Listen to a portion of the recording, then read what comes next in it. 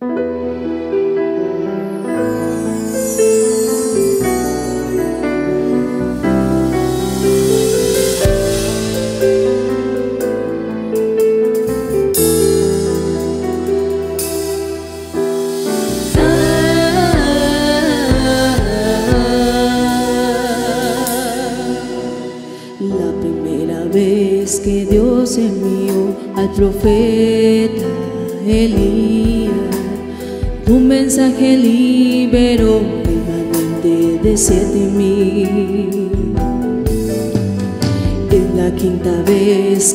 Dios enviará al profeta Elías, serán liberados ciento cuarenta y cuatro mil.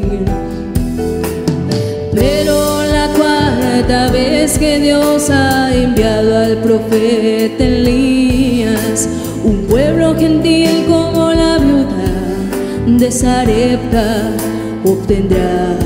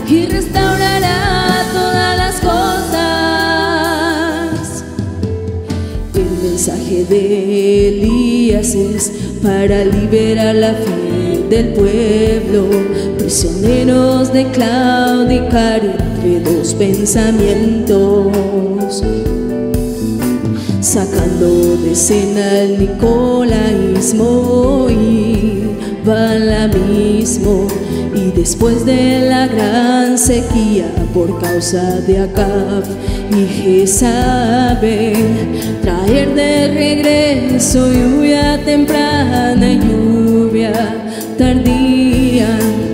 Y mi pueblo nunca más será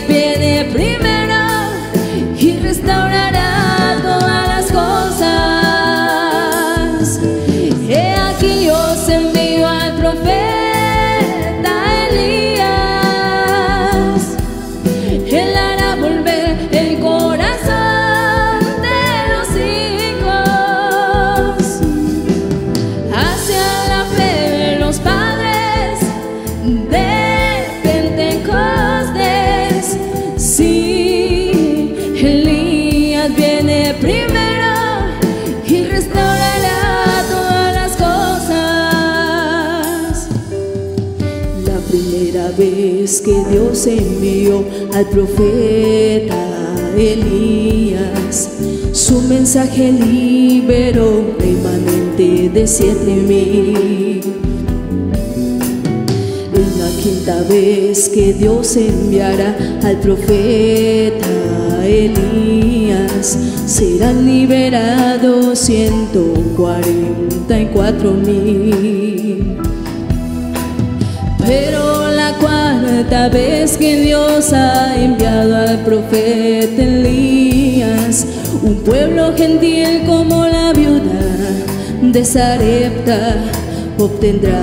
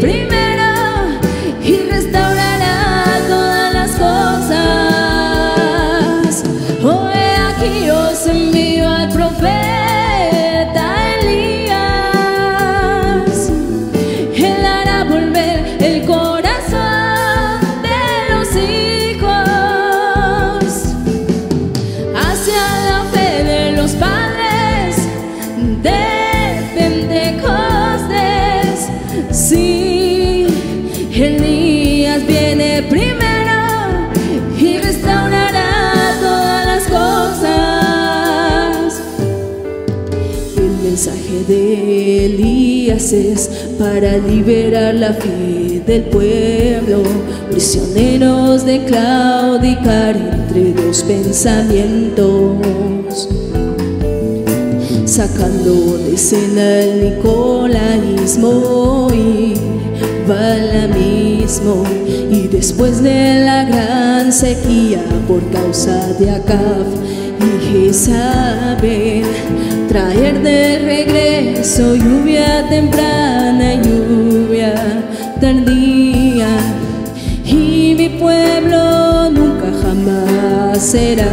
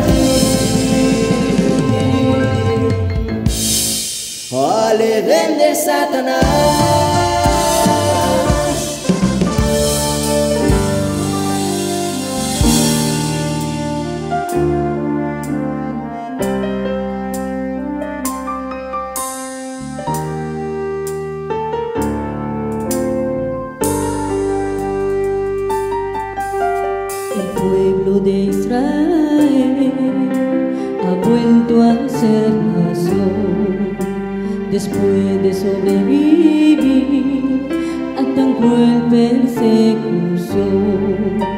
El pueblo de Israel ha vuelto a ser nación, después de sobrevivir a tan cruel persecución. Así como fue profetizado,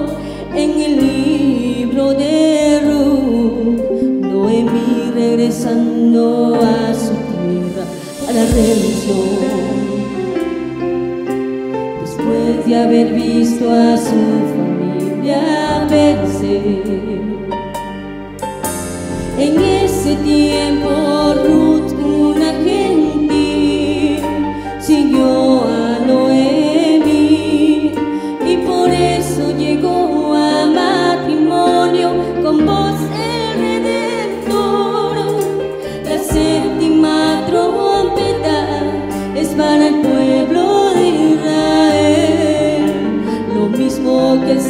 séptimo sello para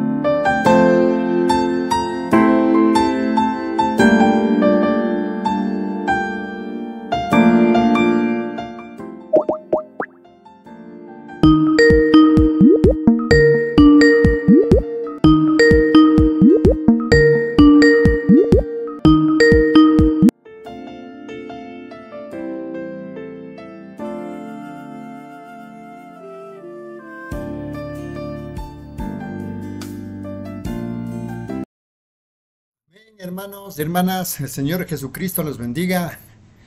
Damos inicio a un nuevo compañerismo de esta nueva tarde y vamos a pedir la voluntad de nuestro Padre Celestial que todo lo que hagamos sea de acorde a su palabra. Con una oración vamos a agradecerle a nuestro Padre Celestial por habernos enviado a existencia en este último tiempo. Muchas gracias, Padre Celestial, una vez más, Señor Dios Todopoderoso. Un agradecimiento, Señor, por, tu cuidado, Señor, por tu bondadosa misericordia, por tu gracia, Señor, por tu infinita gracia. Tú eres el que controlas cada movimiento, Padre amado. Tú eres el que controla, Señor, en este mundo. Sabiendo de que el diablo ha gobernado, pero tú controlas todo el mundo, Señor. Controlas el mundo visible, el invisible. Cuando tú estabas allá en la eternidad, oh Padre amado, desde ahí empezó tu, tu grandiosa obra y te bajaste hacia abajo, te desplegaste y formaste el mundo invisible y luego el mundo visible. Y nos encontramos aquí en esta tierra, Señor, peregrinando, no sabemos qué tiempo, pero tu palabra dice que ya ha pasado todo, tu programa se ha cumplido, Señor, tus siete fiestas cumpliendo en la cena, Señor, Pascuas, panes sin levadura, primicias, Pentecostés, fiesta de las trompetas expiación y tabernáculos. Tiene que ser perfecto cada fiesta, oh Padre amado, y tú nos enseñaste, Señor, en cada edad, en cada tiempo, Señor, enviando a tus siervos, tus profetas, Señor, siendo así en este último tiempo un glorioso mensaje que vino, que venía a ser revelado, Señor, a través del séptimo ángel, que estaba guardado para sabios y entendidos, pero tú revelaste para pequeñitos que quieran aprender. Ese fue Apocalipsis 17, sino que en los días de la voz del séptimo ángel, cuando él comience a tocar la trompeta, el misterio de Dios se consumará. Oh Padre amado, entonces en esta tarde, cumpliendo tu profecía de Apocalipsis 10, 8 al 11, queremos continuar, Padre amado, por este, con este compañerismo que tú nos has puesto en cada uno de vuestros corazones, Señor. Muchas gracias por ese privilegio. Los hermanos y hermanas que también estarán en la cena, juntamente te decimos que sea tu voluntad, oh Padre, en el nombre del Señor Jesucristo. Amén. Amén, mis amados hermanos y hermanas, el Señor Jesucristo los bendiga. Vamos a continuar con compartiendo la lectura de este glorioso mensaje titulado Y no lo sabes. Servicio realizado en Jeffersonville, Indiana, Estados Unidos, del día 15 de agosto del año 1965. Nos habíamos quedado en los párrafos 80 y vamos a continuar en los párrafos 81. Dice, Dios les bendiga. Ahora estoy pasado, pasado de la hora. No fue mi intención hacer esto, retenerlos tanto tiempo. Lo siento por haberlos retenido. No lo siento por lo que dije. Estamos al final de algo, amigos. Todos ustedes aquí, creo, son solo los miembros de aquí de la iglesia. Yo no ando por aquí en tiempo para ver qué miembros hay. Me imagino que todos ustedes son constantes en venir aquí. Permítanme decirles algo que sucedió. Dispondrían de, digamos, seis minutos más. En la congregación dice amén. Párrafo 82. Está aquí ese reverendo señor O. Walker de Oregón que estuvo aquí ese, ese domingo que estuve aquí, ¿sabe alguien al respecto? Fue una gran y extraña cosa. Yo vine aquí, había llegado tanta gente. Yo, yo tuve, yo tenía un montón de entrevistas y cada una de ellas dignas de consideración. Sus muchachos, hijos, casados, borrachos y, y diferentes cosas, y solo cosas que eran dignas de consideración. Cada uno de ellos debería de haber sido visto. Yo no puedo hacer todo eso. Y yo a ustedes los encomiendo a Dios y mantengo mis manos sobre ellas en oración. Yo dije, oh Dios, yo, yo no podría hacerlo. Llega a ellos, Señor, haz, tú sabes cómo hacerlo. Ruego por cada uno. Billy me llamó. Yo acababa de entrar con el hermano Van él dijo, papá, si tú. Y miren, yo veo personas pasar manejando por allí algunas veces en la calle, miran hacia adentro. Y mira afuera hacia ellas. Luego las saludo con la mano así y ellas, ellas casi voltean sus rostros. Yo no quiero que ustedes hagan eso.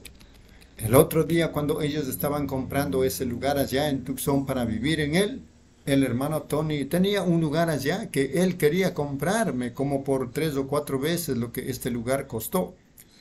Él hasta quería poner tantos miles de dólares en él, él mismo. Pero la única manera en la que uno entra allí, un portero estaba parado allá afuera, un enorme, pues es una subdivisión allá. Pero cualquier estas personas que viven allí, no, uno tiene que tener un permiso para, por escrito. Luego este portero los llama a uno y ve si está bien que ellos entren. Y yo dije, ¿podría usted imaginarse a mí, a mis hermanos y hermanas que vienen a verme, que quieren estrechar mi mano y pedir las bendiciones de Dios para mí? ¿Podría imaginarse que yo mismo me meta allí, Tony? Él dijo, bueno, usted tiene, yo dije, Tony, de esa manera es que la iglesia y todos ellos lo tienen para que la gente no se acerque. Dijo yo, eso es para gente que tiene todo lo que quieren que ya que yo haga. Ellos ellos dicen, pues el Señor me dijo, aleluya, me voy a quedar aquí mismo. Gloria a Dios. El Señor me dijo que usted tiene que llevar a cabo una reunión aquí en nuestro grupo. Sí, Señor, gloria a Dios. Dios me dijo eso. Si usted no lo hace, hermano Branham, usted ciertamente está caído. Yo allí tratando de estudiar, ven, eso es lo que pasa, ven, y muchas personas buenas se pierden de entrar debido a eso. Párrafo 84. Así como un hombre que va de cacería aquí en una granja, un campesino dice, entren, ustedes pueden cazar. Y ustedes salen allí y matan a una de sus vacas. Un conejo corre debajo de la vaca y simplemente le disparan al conejo de todas maneras. Ustedes se suben sobre la cerca en vez de subir al poste y subirse como un hombre decente lo debería de hacer. Se suben en el cerco y lo tumban de esa manera. Ven, y luego él dirá, yo pegaré en letrero en el lugar. Yo pegaré un letrero en el lugar. Yo no, eh, yo no lo culpo a él ni un poquito, ni un poquito. Pues, ¿qué hace él? Él le impide entrar al cazador decente. Siempre es de esa manera. Es el malo el que le impide al bueno el tener las preeminencias. Siempre lo es. 85. Ahora, pero esas personas están, millares están verdaderamente necesitadas y son personas buenas, personas amorosas, llenas de la gracia de Dios. ahora tenemos esto. ¿Cómo viene esa gente de esa manera? Nosotros no, nosotros no queremos eso. No, pero este hombre vino. Billy dijo, ven corriendo ahora rápidamente, papá. Dijo, la señora Guldor está aquí con unas personas muriéndose. Debes verlas inmediatamente. Y entré corriendo, vine aquí.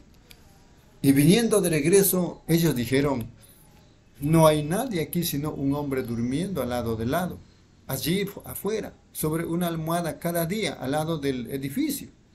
Dijo, él quiere que ores por él. Yo dije, muy bien. Dijo, lo traeré adentro. Yo entré. Había, creo yo, un Cadillac estacionado aquí atrás, en la parte de atrás, o alguna clase de carro grande. Llegué en el carro, estaba, y ese hombre dijo, ¿cómo está usted? Él no me conocía. Yo entré, y la hermana Guldor, la pobrecita, entró. Ustedes saben, ella estaba Ustedes conocen su caso, ¿no es así? Ven, ella tenía cáncer, murió en la línea de oración como una hora antes que yo llegara a ella. Su doctor vino, mostró, eso fue hace como 18 años, cáncer en el corazón, ven. Y ella está viva hoy, y ella está viviendo allá en Arkansas ahora. Y ella estaba en Phoenix entonces, y, ella dijo, hermano Willy, lamentaba llegar así, pero dijo, yo no tenía ningún lugar donde quedarme. Ellos dijeron, ellos dicen que este, esta mujer eh, se va a morir. Oh, hermano Willy. Dijo, yo quería traerle una pequeña ofrenda en mi mano, hermano Willy. Dije, pero no pude hacerlo, pero enlaté un poco de jalea de zarzamora. Párrafo 86. Oh, cuando fui allá arriba y vi esos pequeños vasos de jalea que ella tenía puestos allí, yo me parecía demasiado sagrado para que me la comiera. Ven, esa amada ancianita, como de 70 años. Yo dije, hermana Hati, yo, yo no podía decir no. No, Jesús, vio a aquella viuda poniendo tres centavos y él, él, él la dejó en paz. Ven, no, Dios la va a recompensar por ello. Sí. Y así que el Señor sanó a la mujer, sanó todo lo que ella tenía, le reveló a su pastor lo que él, ella tenía en su mente. ¿Qué debe él hacer? Otra cosa. Y oh, todos ellos salieron gritando. 87. Entonces Billy entró corriendo. Él dijo, papá, ese hombre se fue. Yo no puedo. Yo dije, ¿quién es ese que está allí afuera en el carro? Oh, dijo él, un tipo que vino de Oregón. Dijo que él tiene una especie de sueño. Y yo le dije, yo no le daría a usted ninguna falsa esperanza. Hay 300 aquí esperando ahora. Y dijo, y yo le dije, solo escriba el sueño. Dije, tengo un montón de ellos aquí así de alto, de todas maneras, y solo se lo añadiré. Yo dije, hazlo entrar, dale cinco minutos. Bueno, tan pronto como el hombre entró, cinco minutos, él dijo, soy el reverendo Walker. Yo creo que era su nombre de Oregón. Creo que él es de alguna otra denominación, no sé, presbiteriana, presbiteriana, algo. Él dijo, lo conocí hace como 20 años. Yo vine a Grand Pass, donde usted, oh no Grand Pass, pero se me olvida el nombre del lugar. Allí dijo, todo el país, titulares en el periódico cada mañana. Dijo, todos sabían al respecto. Dijo, yo ni siquiera pude llegar al edificio donde usted estaba, pero yo lo vi subir. Y un día en la calle yo me acerqué, dijo, Dijo, cuatro o cinco hombres alrededor de usted y le estreché su mano y usted le dijo que yo era el hermano Walker y usted me dijo quién era usted. Dijo, nosotros cruzamos unas cuantas palabras y entonces tres o cuatro hombres grandes que estaban con usted lo hicieron seguir adelante. Él dijo, yo no era su crítico y no estaba a su favor. Él dijo, yo simplemente no entendía.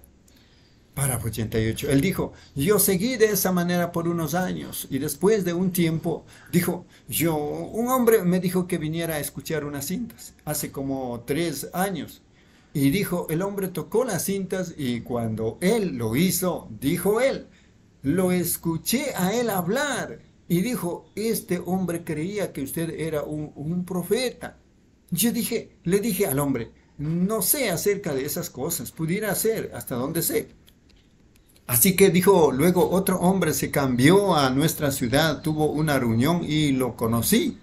Y él dijo, yo soy el profeta de Dios para este día. Él dijo, ¿cuántos de ustedes hay de todas maneras? Dijo, yo, yo, yo oigo de que un hombre aquí está escuchando cintas. Dijo, William Branham, allá en el este, era un profeta del día y cosas como esas. Él dijo, este hombre, y yo no voy a mencionar su nombre porque no suena correcto aquí. ¿Ven ustedes? Y él dijo, yo conozco a William Branham. Dijo, pero él está tan falso en su doctrina. Dijo, él no es pentecostal, él no cree en la evidencia inicial. Y dijo otra cosa, él dice que hay profetas mayores y menores, no hay tal cosa. Dijo, uno es profeta o no es profeta, y eso es todo. Párrafo 89. Él dijo, pues Señor, estoy, no discutí con usted al respecto. Yo solo dije que oí a este hombre decir que este hombre, William Branham, y que este hombre afirmaba que él era un profeta. Dijo, yo solo me preguntaba cuántos había. Él dijo, pero quiero que usted sepa esto, yo soy el profeta de esta edad. Él dijo, pues lo, él, pues lo es. Dijo, que el Señor lo bendiga y esté con usted. Él siguió adelante, nunca le prestó atención y dijo que él empezó entre sus hermanos una serie de tres o cuatro reuniones. Y él fue a la oficina de correos, dijo, no, no cambien mi correspondencia déjenla aquí hasta que yo regrese, como cuatro o cinco días después. Muy bien, dijeron ellos. Ellos pusieron una etiqueta allí que no lo cambiaran. Él fue y vio a su hija. Y en el camino, él, él se detuvo en una iglesia. Y él tuvo la reunión de esa noche. La mañana siguiente, él dijo que de casualidad pensó, ve a ver en la lista de correos, departamento de correo en que él se entrega correspondencia a personas sin dirección fija que llaman o llegan a buscarla. Y cuando lo hizo, una carta se había deslizado a través del correo y llegó a su hija. Su hija la envió allí a la lista de correos. Para por 90 por último. Y él la abrió. Y dijo que era un hombre, el señor Hildebrandt, el cual es amigo mío. Ese había sido el hombre que estuvo tocando las cintas dijo que el señor Hildenbrand tenía un mensaje de reverendo Bordes, perdón, del Roy Bordes, y ese es uno de los administradores, ustedes saben, de que yo iba a tener una reunión aquí desde el 28 hasta el primero que regresara y viera por sí mismo. Y dijo, ahora mire, esos tipos tratando de meterme en algo así, ven, y él simplemente echó la carta en el censo de la basura, en el cesto de la basura, perdón, y siguió adelante. Ven, así, siguió adelante y tuvo esa reunión esa noche. Y a la mañana siguiente, luego él empezó poniendo su mano sobre su corazón a llorar allí mismo en el cuarto. Perdón. Amén. Amén, mis amados hermanos, hermanas, recordando que estamos en esta hermosa tarde compartiendo la lectura de este glorioso mensaje titulado Y no lo sabes, servicio realizado en Jeffersonville, Indiana, Estados Unidos, el día 15 de agosto del año 1965. A continuación, hermana Reina, por favor, entre los párrafos 91 al 99.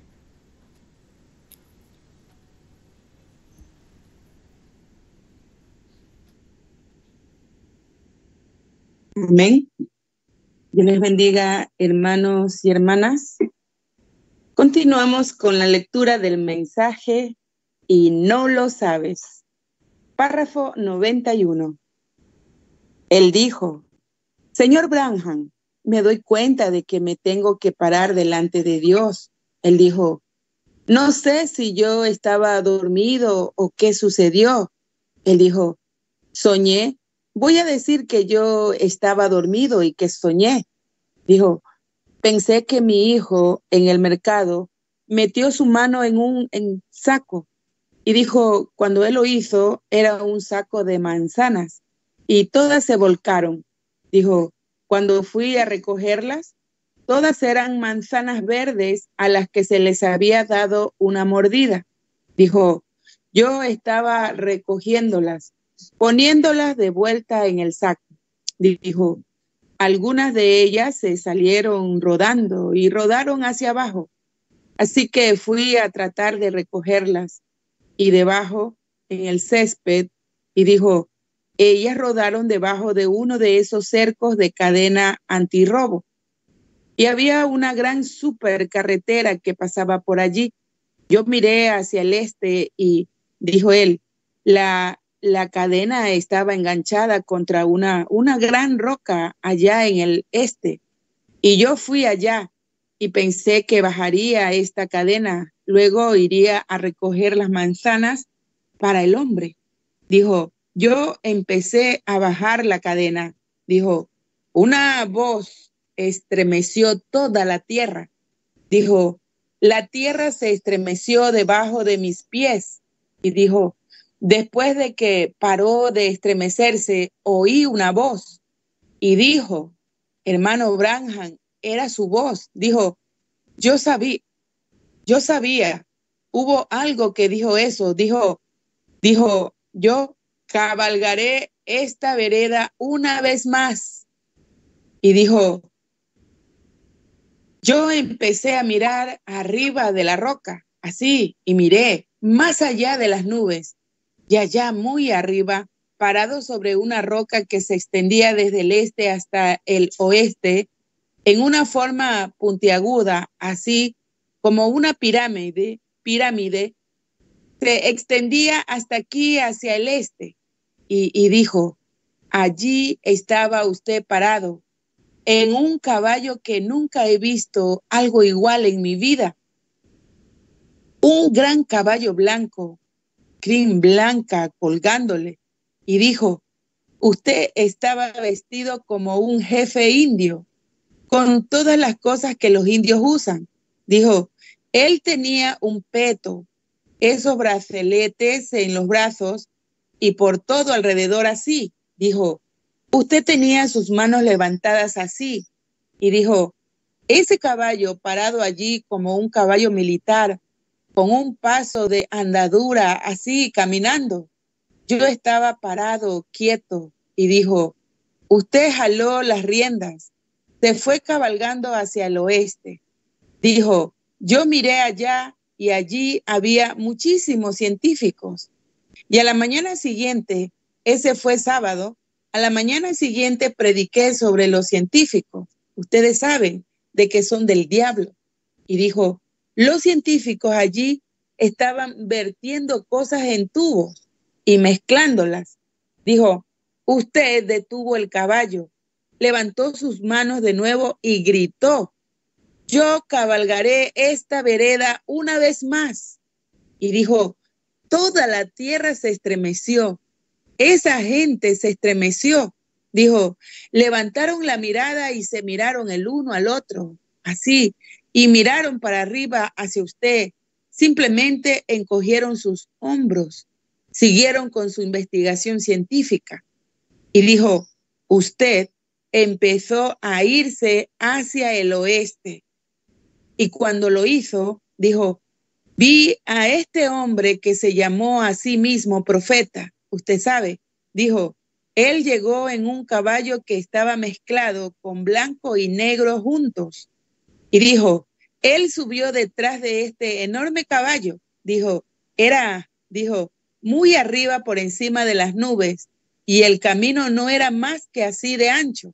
Y dijo, ese caballo simplemente danzó, el viento ondeando las plumas y todo en su vestidura. Y dijo, luego la crin y la cola del caballo ondeando.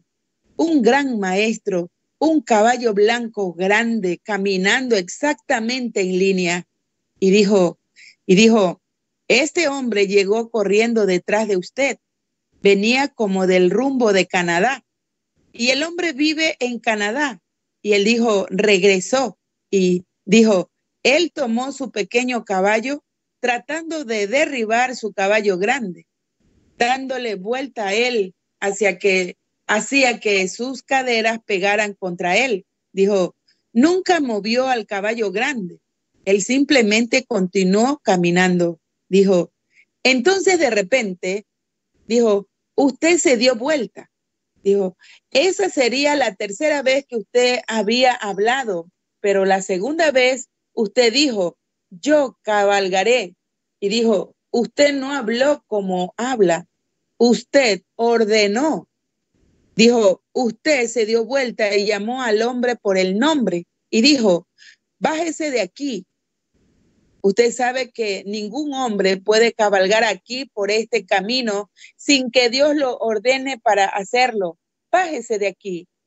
Y dijo, el hombre dio vuelta y dijo, el hombre me ha escrito cartas. Y dijo, a lo ancho de las caderas de su caballo, ese negro y gris y mezclados, dijo, a lo ancho de las caderas de su caballo estaba escrito su nombre su firma exactamente como está en su carta.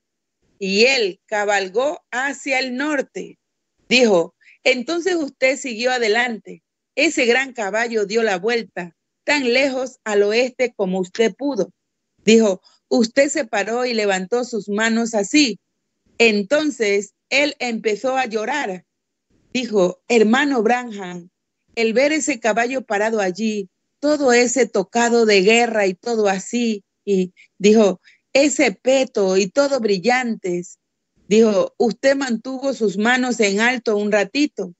Y dijo, usted miró para abajo de nuevo, recogió las riendas, dijo, yo cabalgaré esta vereda solo una vez más. Dijo, toda la tierra se estremeció para adelante y para atrás, así. Y dijo, ya no quedaba vida en mí, simplemente caí al lado de la roca. Entonces me desperté. Dijo, ¿qué significa, Señor? Yo dije, no sé, 95. A la mañana siguiente, Junior Jackson, quien soñó acerca de la pirámide, ustedes saben, cuando me fui al oeste, ¿recuerdan ustedes eso? Él me llamó un mes o dos, dos antes de eso él tuvo un sueño que estaba ardiéndole. Él tenía que decirme. Y yo dije, Billy, había como 20 parados allí afuera. Él dijo, Junior Jackson, que está allí abajo, dijo que él tenía que contarte ese sueño. Yo dije, hazlo entrar. Solo como 15, como cinco minutos.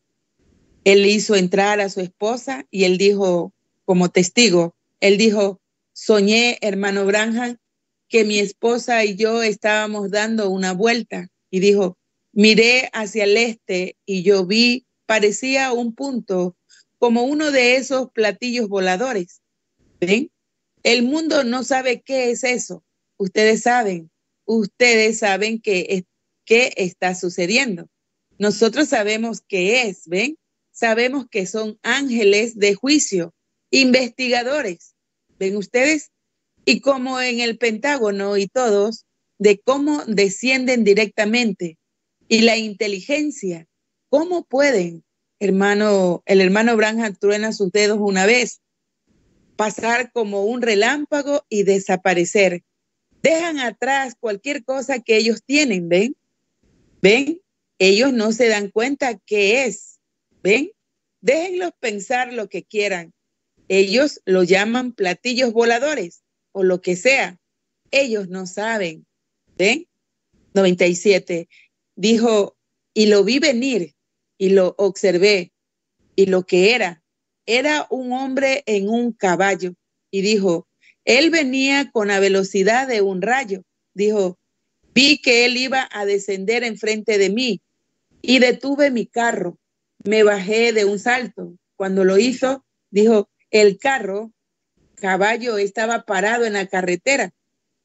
Un gran caballo blanco militar caminando con un paso de andadura. Esa es la palabra, por supuesto. Ustedes saben, andando con un paso de andadura. Dijo, había un hombre sentado allí. Dijo, él, él estaba vestido de vestiduras del oeste. No era un vaquero, pero dijo, parecía como un jefe de la policía montada o algo. ¿Ven? Toda su autoridad de jefe del oeste, los indios sobre los indios, la policía montada sobre, ¿ven? Y dijo, el hombre tenía su sombrero encasquetado y tenía, estaba mirando de reojo y dijo, cuando él se volteó hacia un lado, dijo, era usted, hermano Branham. Dijo, usted nunca habló como usted lo hace. Usted dijo, Junior, lo llamó tres veces y dijo, te diré qué hacer.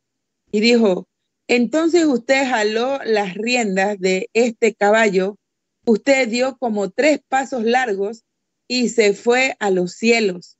Y usted se fue hacia el oeste. 98. Él dijo, un momento. Miré alrededor y aquí venía un caballo más chico que aquel, de la misma raza, pero más chico, y se paró. Dijo, yo caminé alrededor, dije, él debe de haber enviado este para mí. Dijo, me subí en él.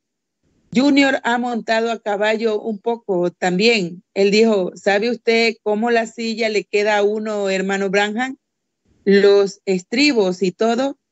Dijo, yo pensé, bueno, esto me queda muy bien, así que jalé las riendas. Me fui a través de los cielos. Dijo, le jalé las riendas y lo detuve. Le di la vuelta y me fui de regreso. Ven, cuando regresé, dijo, detuve el caballo. Me bajé y hablé con mi esposa. El caballo había desaparecido y él estaba excitado.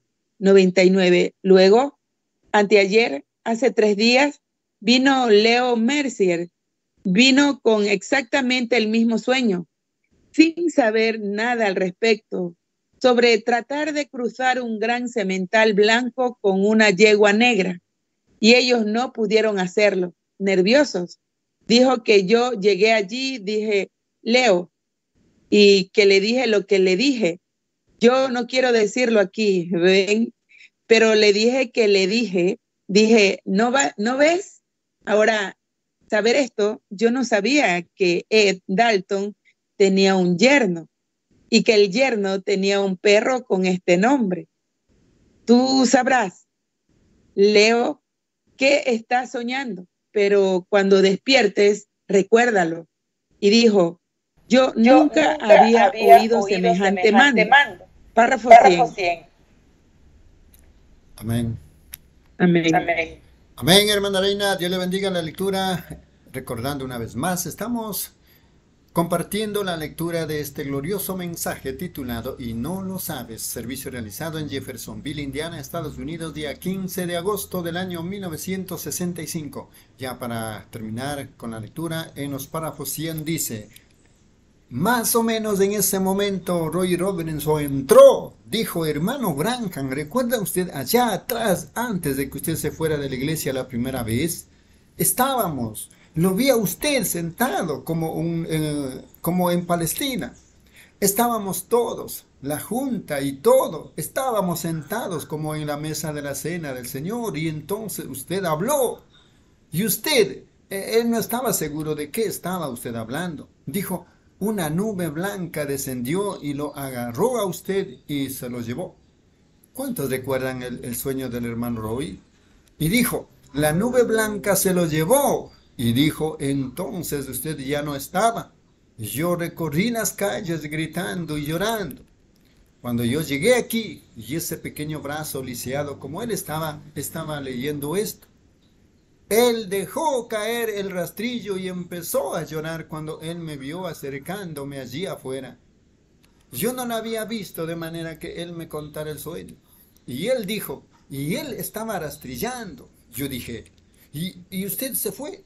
Dijo, recorrí las calles por todas partes tratando de encontrarlo. No lo pude encontrar en ninguna parte. Yo estaba gritando, oh hermano Branham, no se vaya. Dijo, una nube blanca entró y lo agarró y se lo llevó de nosotros hacia el oeste. Eso fue antes de la pirámide o cualquier cosa. Dijo, se lo llevó hacia el oeste. Y lloré y recorrí las calles. Dijo, después de un rato fui y me senté a la mesa. De casualidad miré allí a la cabecera de la mesa. Dijo, yo solo podía ver un tanto así de usted. Estaba blanco como la nieve. Dijo, usted estaba parado allí. Y dijo, usted habló con autoridad. No había nada que suponer en ello. Dijo, todo hombre entendió exactamente lo que usted estaba diciendo. Oh, mi hermano, hermana, Ahora, todos ustedes estén conscientes. Yo sé lo que eso significa. Ven. Solo velen. Permanezcan cerca de Cristo. Permítanle de advertirles ahora, como ministro del Evangelio de esto, no acepten ninguna tontería, no se imaginen nada, permanezcan allí mismo hasta que este interior de lo interior esté anclado en la palabra, a la palabra, que ustedes están exactamente en Cristo, porque esa es la única cosa que va a porque estamos en la edad más engañosa en que hayamos vivido. Engañaría aún a los escogidos si fuere posible, porque ellos tienen unción, ellos pueden hacer cualquier cosa como el resto de ellos. Párrafo 102. Limpien sus vidas, paguen sus deudas, no debáis a nadie, dijo Jesús. Ahora, Ahora quiero decir, como la renta de su casa y cosas, usted tiene que hacerlo. Desháganse de todas sus cosas de sus manos, enmienden todo, alístense, prepárense, recuerden en el nombre del Señor, algo está a punto de suceder. Voy a ir a los montes esta semana no exactamente cazar ardillas, por supuesto, a mí me gusta cazar ardillas, pero voy allá con este propósito, diciendo, oh Dios, no sé en qué dirección moverme y no quiero perderme esto, ayúdame. Ustedes oren por mí, lo van a hacer, estaré orando por ustedes, espero. Por las misericordias de Dios, que me encuentre con cada uno de ustedes y nos encontraremos en una tierra mejor que esta aquí. ¿Y para qué venimos aquí? ¿Qué estamos haciendo? Venimos aquí jugando un juego. Venimos aquí reuniéndonos como una logia. Hermano Branham toca en el púlpito tres veces. Es Cristo, no puede venir hasta que esa iglesia esté perfectamente bien. Él está esperándonos. Yo creo que estamos en el fin. Miren, en California. Miren los disturbios, miren los, las 19 personas que han sido matadas, racial. No les dije aquí no hace mucho tiempo que ese Martin Luther King guiaría a su gente a, un, a una masacre. ¿Cuántos recuerdan eso? La congregación dice amén. No es esa gente de color, son esos líderes agitándolos. No es integración, segregaciones y todo lo que quieren llamarlo. Es del diablo. Eso es correcto. No solamente a los blancos de color. Esto es todos. Es el diablo. Párrafo 104. Las facultades mentales y la razón del hombre están derrumbadas. No hay esperanzas. Está más allá de esperanza. Toda la cosa es una llaga podrida. Las facultades mentales del hombre, ellos no pueden tomar decisiones. Yo no soy un político. Yo no. Ni demócrata, ni republicano. Todos son sucios. Y estoy a favor de un reino. Y ese es el reino de Jesucristo. Eso es todo. Pero ¿cómo van a ¿Han visto alguna vez a un montón de títeres como los que tenemos ahora allí, como ese montón de tejanos que tenemos allí adentro? Pues dicen ellos todo lo que la gente quiere. Si quieren comunismo, les daremos comunismo. Si quieren integración, les daremos integración. Quieren segregación, damos lo que sea. ¿Eso, eso? ¿Dónde están los hombres? ¡Oh Dios! Eso es como el púlpito. ¿Dónde están los hombres? Hombres que son hombres que se paran por un principio. ¿Dónde están las mujeres que se paran por un principio? ¿Dónde está una iglesia que se para por un principio? No tengo el equivalente a cinco centavos de tiempo para un espíritu falso de carácter que cede y comprometedor. Si una mujer es una mujer, que sea una dama. Si un hombre es un hombre, que sea, un que sea hombre. 105. Si él es un presidente, ¿dónde están nuestros John Quincy Adams? ¿Dónde están nuestros Abraham Lincoln, hombres de principios? ¿Dónde están nuestros Patrick Henry? Dijo, denme libertad o denme muerte. ¿Dónde está un hombre que se pare por lo que es correcto? ¿Dónde está el hombre que no tiene temor de hablar claro? Pase lo que pase, aunque todo el mundo esté en contra de él, habla claro por lo que es correcto y se para por ello y muere por ello. ¿Dónde está nuestro Arnold Whittenfried de nuevo hoy en, en día? ¿Dónde hay hombres de integridad? ¿Dónde hay hombres con espíritu? Son tan falsos de carácter y tardos al grado que ellos no saben dónde están parados. Dios, permíteme pararme con los principios de un hombre como ministro, la palabra de Jesucristo.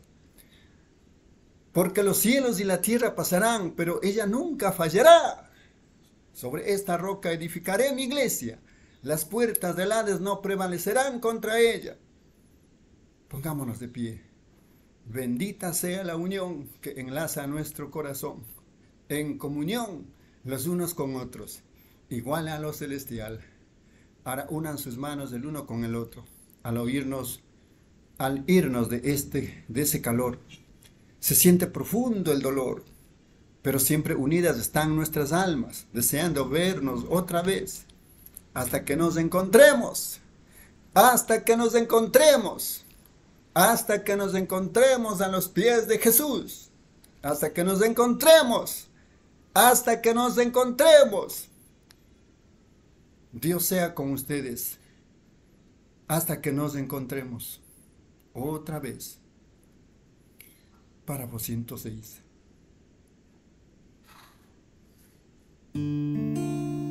Inclinemos nuestros rostros ahora, mientras el hermano Neville nos despide en oración. Vuelvan esta noche. Ahora estamos esperando un gran servicio esta noche aquí en el tabernáculo. Dios los bendiga y oren por mí. Yo oraré por ustedes. No piensen que soy un fanático, amigos. No piensen que estoy tratando de imponerles algo. Yo los amo y tengo un principio. Esa es la Biblia. Ni una sola palabra puede ser quitada de ella. Ni una sola palabra puede ser añadida a ella. La creo de la manera en que está escrita. Inclinemos nuestros rostros ahora. Y nuestro leal y buen pastor despedirá a la congregación. Dios lo bendiga. Hermano. Amén. Amén, mis amados hermanos y hermanas. De esta manera hemos concluido con la lectura de este glorioso mensaje titulado Y no lo sabes. Este mensaje fue predicado el día 15 de agosto del año 1965 en Jeffersonville, Indiana, Estados Unidos. Que el Señor Jesucristo los bendiga y que guarde a todos.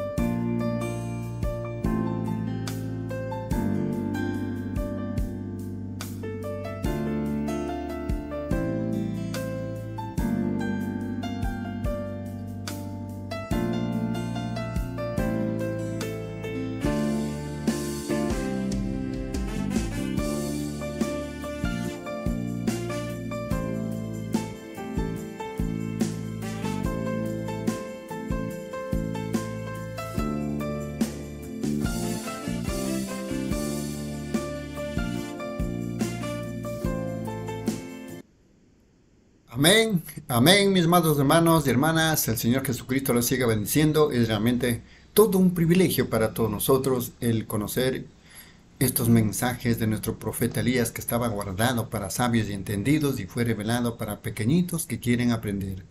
Este fue Apocalipsis 17, que estaba en misterio. Y siguiendo el orden cronológico de la lectura de los mensajes en esta hermosa tarde, Vamos a continuar compartiendo. Nuestro siguiente mensaje a ser compartido se titula Cristo es revelado en su propia palabra. Servicio realizado también en Jeffersonville, Indiana, Estados Unidos, el día 22 de agosto del año 1965. Iniciamos la lectura. Mucha honra, hermana Reina, por favor, en los párrafos 1 al 10.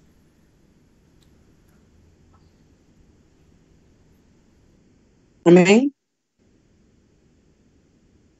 Iniciamos la lectura del mensaje Cristo es revelado en su propia palabra.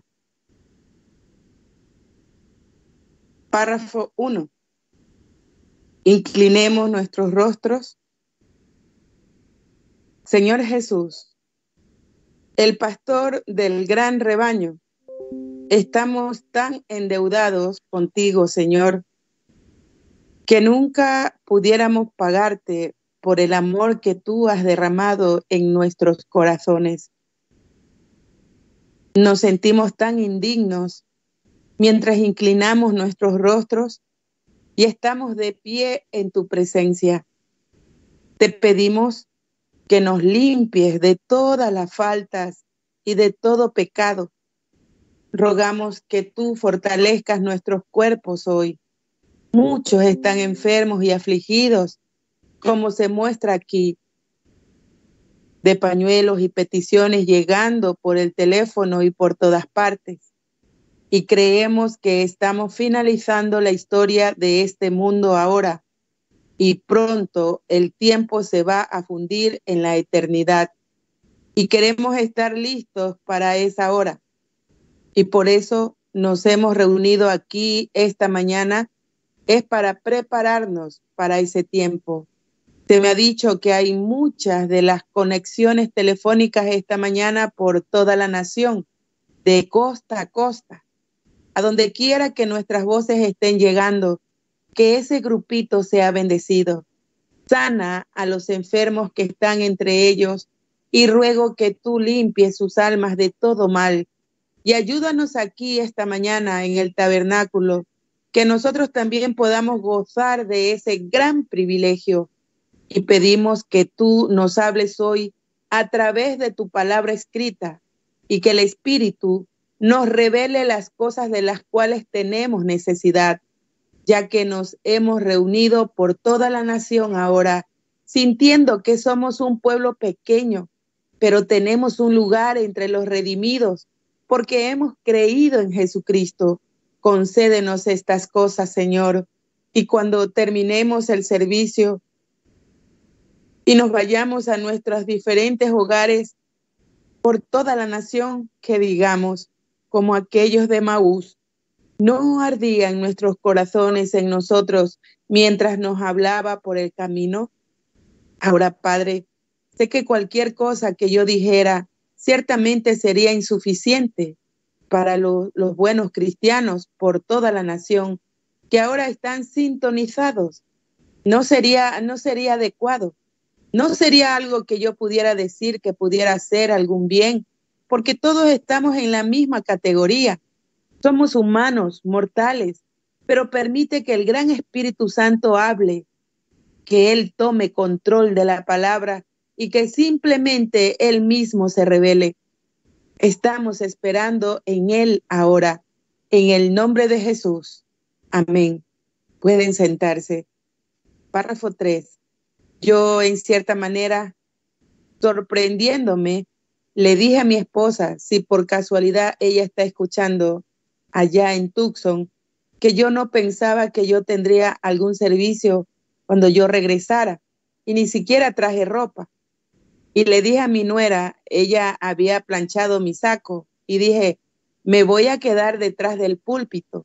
Con ellos no saben que los pantalones son de una clase y el saco de otra son los que me pongo en la casa, pero Meda, ella planchó mi camisa y todo, así que todo, no te preocupes, todo está bien. Ahora tenemos una petición aquí que hay un, muy querido hermano y creo que, que Prescott, creo, está conectado esta mañana allá en Prescott, Arizona. El papá de la hermana Mercier acaba de estar en camino aquí a la reunión, tengo entendido, y tuvo que ser llevado al hospital con un ataque al corazón. El hermano Coggins y, y también el hermano Junior Jackson. Creo que él está oyendo allá en la siguiente radio allá o en el siguiente teléfono allá en Clansville o New Albany. Y su papá está en el hospital, tengo entendido, con una serie una seria operación de cáncer en el hígado.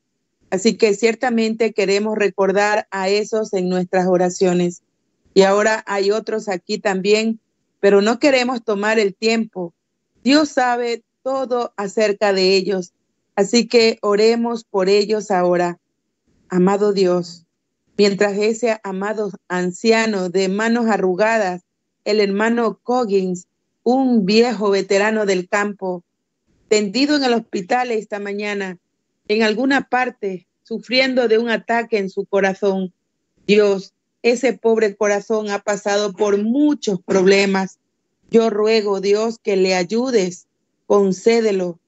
A él le gusta, a él le encanta la vida como a todos nosotros nos encanta y él quiere vivir.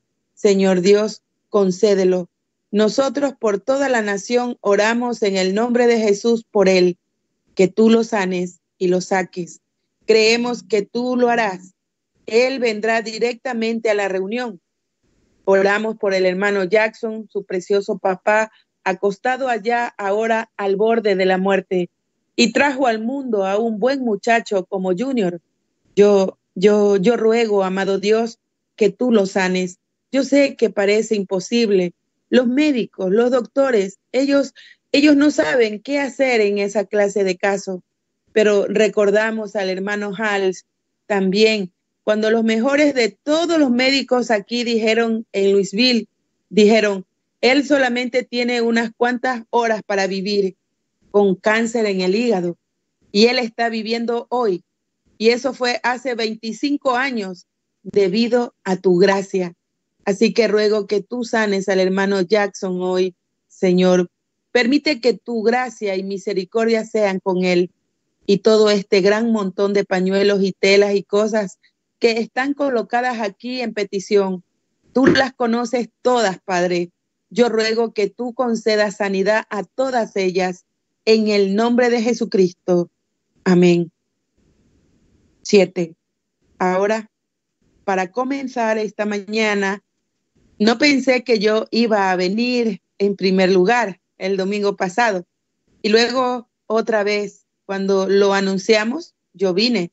El hermano Neville me pidió que yo hablara y luego anunciamos que estaría aquí hoy y no ha sido notificado a la gente alrededor del país. Y ahora tenemos este sistema de teléfono, el cual está muy, muy bien. La gente puede sentarse en sus hogares o su, reunirse en sus lugares, sus iglesias y demás, y oír el servicio. Yo aprecio eso. Ocho, ahora veo puestas aquí, habían habido muchas peticiones esta semana pasada sobre lo que dije el domingo pasado en el mensaje.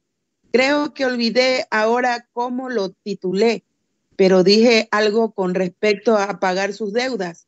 Y ustedes saben, no importa lo que uno diga, es malentendido por muchos, no porque ellos ellos no quieren malentenderlo, pero ustedes simplemente lo malentienden. Y ahora alguien dijo, deberíamos de comprar un carro. ¿O qué debe, debería yo? Ahora, eso no es de lo que Jesús habló, o la Biblia allí, que dice, no debáis a nadie nada. Eso es cuentas rezagadas para que ustedes pudieran pagar. Páguenlas. Eso no, eso es no deber a ningún hombre nada. No quiere decir, oh, debemos nuestra renta nuestra cuenta del teléfono, nosotros y demás. Nosotros, nosotros debemos esas cosas y las pagamos. Pero una vieja deuda regazada que ustedes pudieran estar pagando, páguenla. ¿Ven? Ahora, no anden con alguna cosa pendiente sobre ustedes de esa manera. Nueve, recuerdo una ocasión cuando estuve enfermo, una vez cuando era un muchacho. Salí del hospital debiendo como dos mil dólares y solía haber una farmacia aquí. El señor Swaniger le debía a él como 300 o 400 dólares una cuenta de medicinas. Él ni siquiera me conocía y el hombre, yo fui a donde él, yo no lo conocía y él simplemente la envió allá arriba, de todas maneras. Nunca rehusó enviarla. Y yo dije, yo le debo a usted y yo dije, yo creo, Swaniger era el señor Mason allá en la avenida Cole y Spring. Y yo dije, yo le debo a usted y todavía estoy, estoy terriblemente débil, pero estoy tratando de ir a trabajar. Ahora, si no puedo pagarle, yo acababa de convertirme en cristiano. yo dije, lo primero, señor Mason, como mi obligación hacia Dios, le debo a Él mis diezmos. Le quiero pagar a Él mis diezmos primero. Y yo dije, luego, mi siguiente obligación es pagar mis deudas. Yo dije, mi padre está enfermo y él, y tenemos, somos 10 hijos en la familia, pero yo dije, yo voy a, si no puedo pagarle nada más que 25 centavos en esa cuenta cada día de pago, si ni siquiera puedo pagarle los 25 centavos, vendré y le diré al respecto. Yo le diré, yo, yo no puedo hacerlo esta vez. Ahora, con la ayuda de Dios, yo la pagué toda. ¿Ven? Pero eso es lo que quiero decir, ¿ven? Que simplemente no diga alguien, oh, párrafo 10, un cristiano aquí en la iglesia en una ocasión fue e hizo que se le hiciera un trabajo aquí en un carro. Y el hombre vino. El hombre dijo, le pagaré. Me pagan el sábado o alguna u otra cosa. Y él nunca le pagó. Y pasaron semanas tras semanas y nunca le pagó. Nunca dijo una palabra. Y el hombre vino y me preguntó, él dijo, ven, se refleja contra la iglesia, se refleja contra Cristo. Si no le pueden pagar, vayan a decirle, digan, yo le debo y le voy a pagar. Yo soy un cristiano, pero yo, yo simplemente no puedo hacerlo en este momento. Tengo, yo debo esto. Y recuerden, está en los libros de Dios también. Ustedes saben que ustedes lo deben. Así que eso es. Estoy tratando por mí y por todos nosotros juntos, tratando de que estemos listos, porque sabemos que nos estamos acercando a algo, muy cerca a algo que va a suceder. Así que queremos estar listos. Cuando la venida del Señor se está acercando tanto ahora, queremos estar listos para, esa, gran, hora. Amén. Dios le bendiga, mis, hermanos. Amén, hermana Reina. Dios le bendiga la lectura. Recordando una vez más que hemos iniciado la lectura de un nuevo mensaje titulado Cristo es revelado en su propia palabra. Servicio realizado en Jeffersonville, Indiana, Estados Unidos, día 22 de agosto del año 1965. Continuando con la lectura, hermana Margarita, Dios le bendiga. Párrafos 11 al 20.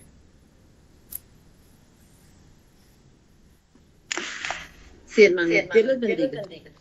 Continuamos la lectura de estos grandiosos y gloriosos mensajes. Cristo es revelado en su propia palabra. El año 650822, párrafo 11. Ahora queremos prepararnos y hablar ahora sobre un pequeño tema aquí que escogí para esta mañana. Con la ayuda del Señor y hablaremos tan brevemente como podamos debido a la conexión de la gente.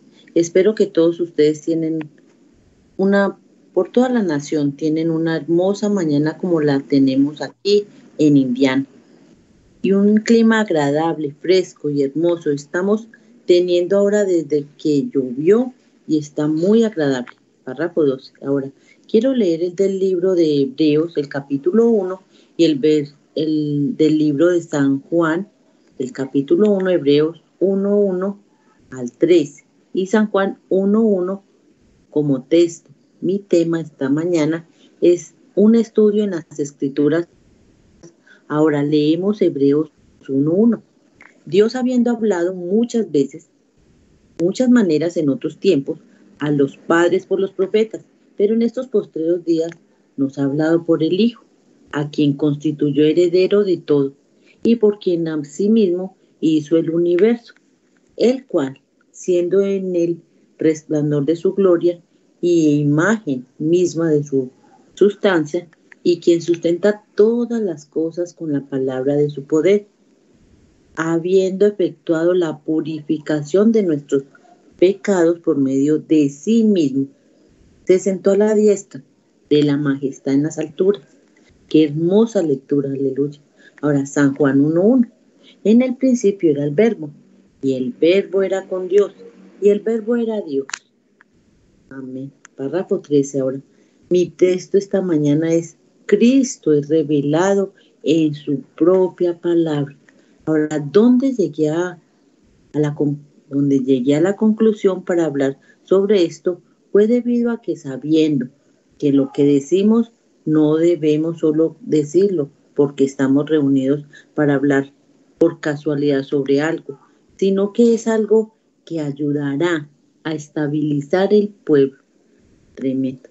Porque vemos a, vamos a pasar por aguas peligrosas y traicioneras. Ya estamos navegando por ellas y algunas veces creo que es con ustedes como lo es conmigo, que pareciera como que tanto de ello es tan espantoso. Acabo de estar hablando con un joven ministro y su esposa y en el cuarto hace apenas unos momentos y ambos están nerviosos, así como el resto del mundo, el resto de los seres humanos sobre la tierra. Yo dije, recuerden, Satanás tiene un golpe dirigido a ustedes. No importa quiénes son ustedes. Dios, Él, Él tiene derecho a ese golpe. ¿Qué preferirían que fuera ese golpe? Ser ciegos o ser anti o artrítico, sentado en una silla o ser nerviosos. Ven, él tiene alguna parte en la que él puede golpearlo. Él tiene derecho a ese lugar descubierto. Ahora, ese es el lugar que ustedes tienen que mantener cubierto todo el tiempo y ver esta edad nerviosa en la que estamos viviendo. Párrafo 15. Y las cintas de la semana pasada creo las revelarán a ustedes las grandes cosas espantosas acerca de las cuales vamos a hablar uno de estos días cuando podamos conseguir un lugar suficiente de la de la apertura de estas últimas plagas que han de ser derramadas sobre la tierra, esas copas, mejor dicho, el derramamiento de las copas y los siete truenos y estas cosas espantosas que vienen sobre la tierra. El hombre ahora y la gente hoy en día están en una condición tan neurótica, todo el mundo, párrafo 16, y ustedes leen las selecciones de este mes pasado, se darán cuenta del tema allí, es sobre Billy Graham, el gran evangelista. Él se puso tan cansado que él simplemente no pudo tener su reunión. Y él, él fue la clínica, a la clínica Mayo para un reconocimiento médico. No había nada malo en él, solamente que él no hace suficiente trabajo. Y ellos lo pusieron a correr en ejercicio físico. Él corre una milla cada día y luego el artículo sigue adelante diciendo que la ciencia ha probado que hoy en día que niños jóvenes, estos muchachitos y muchachitas llegan a su edad mediana a los 20 años de edad y para los 25 muchas veces en muchos casos muchachas han salido de la menopausia a los 25 años de edad. No sé si ustedes lo, han, lo sabían o no, pero hace unas noches, mientras el Espíritu Santo estaba hablando acá en la reunión, una muchachita sentada aquí, eso es exactamente lo que estaba mal con esa criatura cuando la llamó. La miré, la segunda vez miré de nuevo y vi que era lo que pasaba. Yo pensé, no puede ser, esa criatura está demasiado joven pero era menopausia, como de 20 años de edad, 23, algo así. ¿Ven? Párrafo 17. Mi mamá y la mamá de ustedes llegaron a esa época como a los 45 o los 50. Mi esposa llegó a esa época como a los 35. Ahora ha bajado a los 20. Toda la raza humana está de gran degenerada. Bueno, si esos seres físicos de nuestros cuerpos se están despedazando, así por comer comidas híbridas, tensiones que lo degeneran, no degenera eso también la célula del cerebro. Y entonces podemos ver cómo las mujeres pueden salir a la calle desnudas, podemos ver cómo pueden correr por las calles a 120 millas por hora, 50, 93 kilómetros por hora. Todas estas cosas han llegado a un punto donde toda la nación, todo el mundo, no solo esta nación, pero en todas partes, están mal mentalmente acabados. Párrafo 18.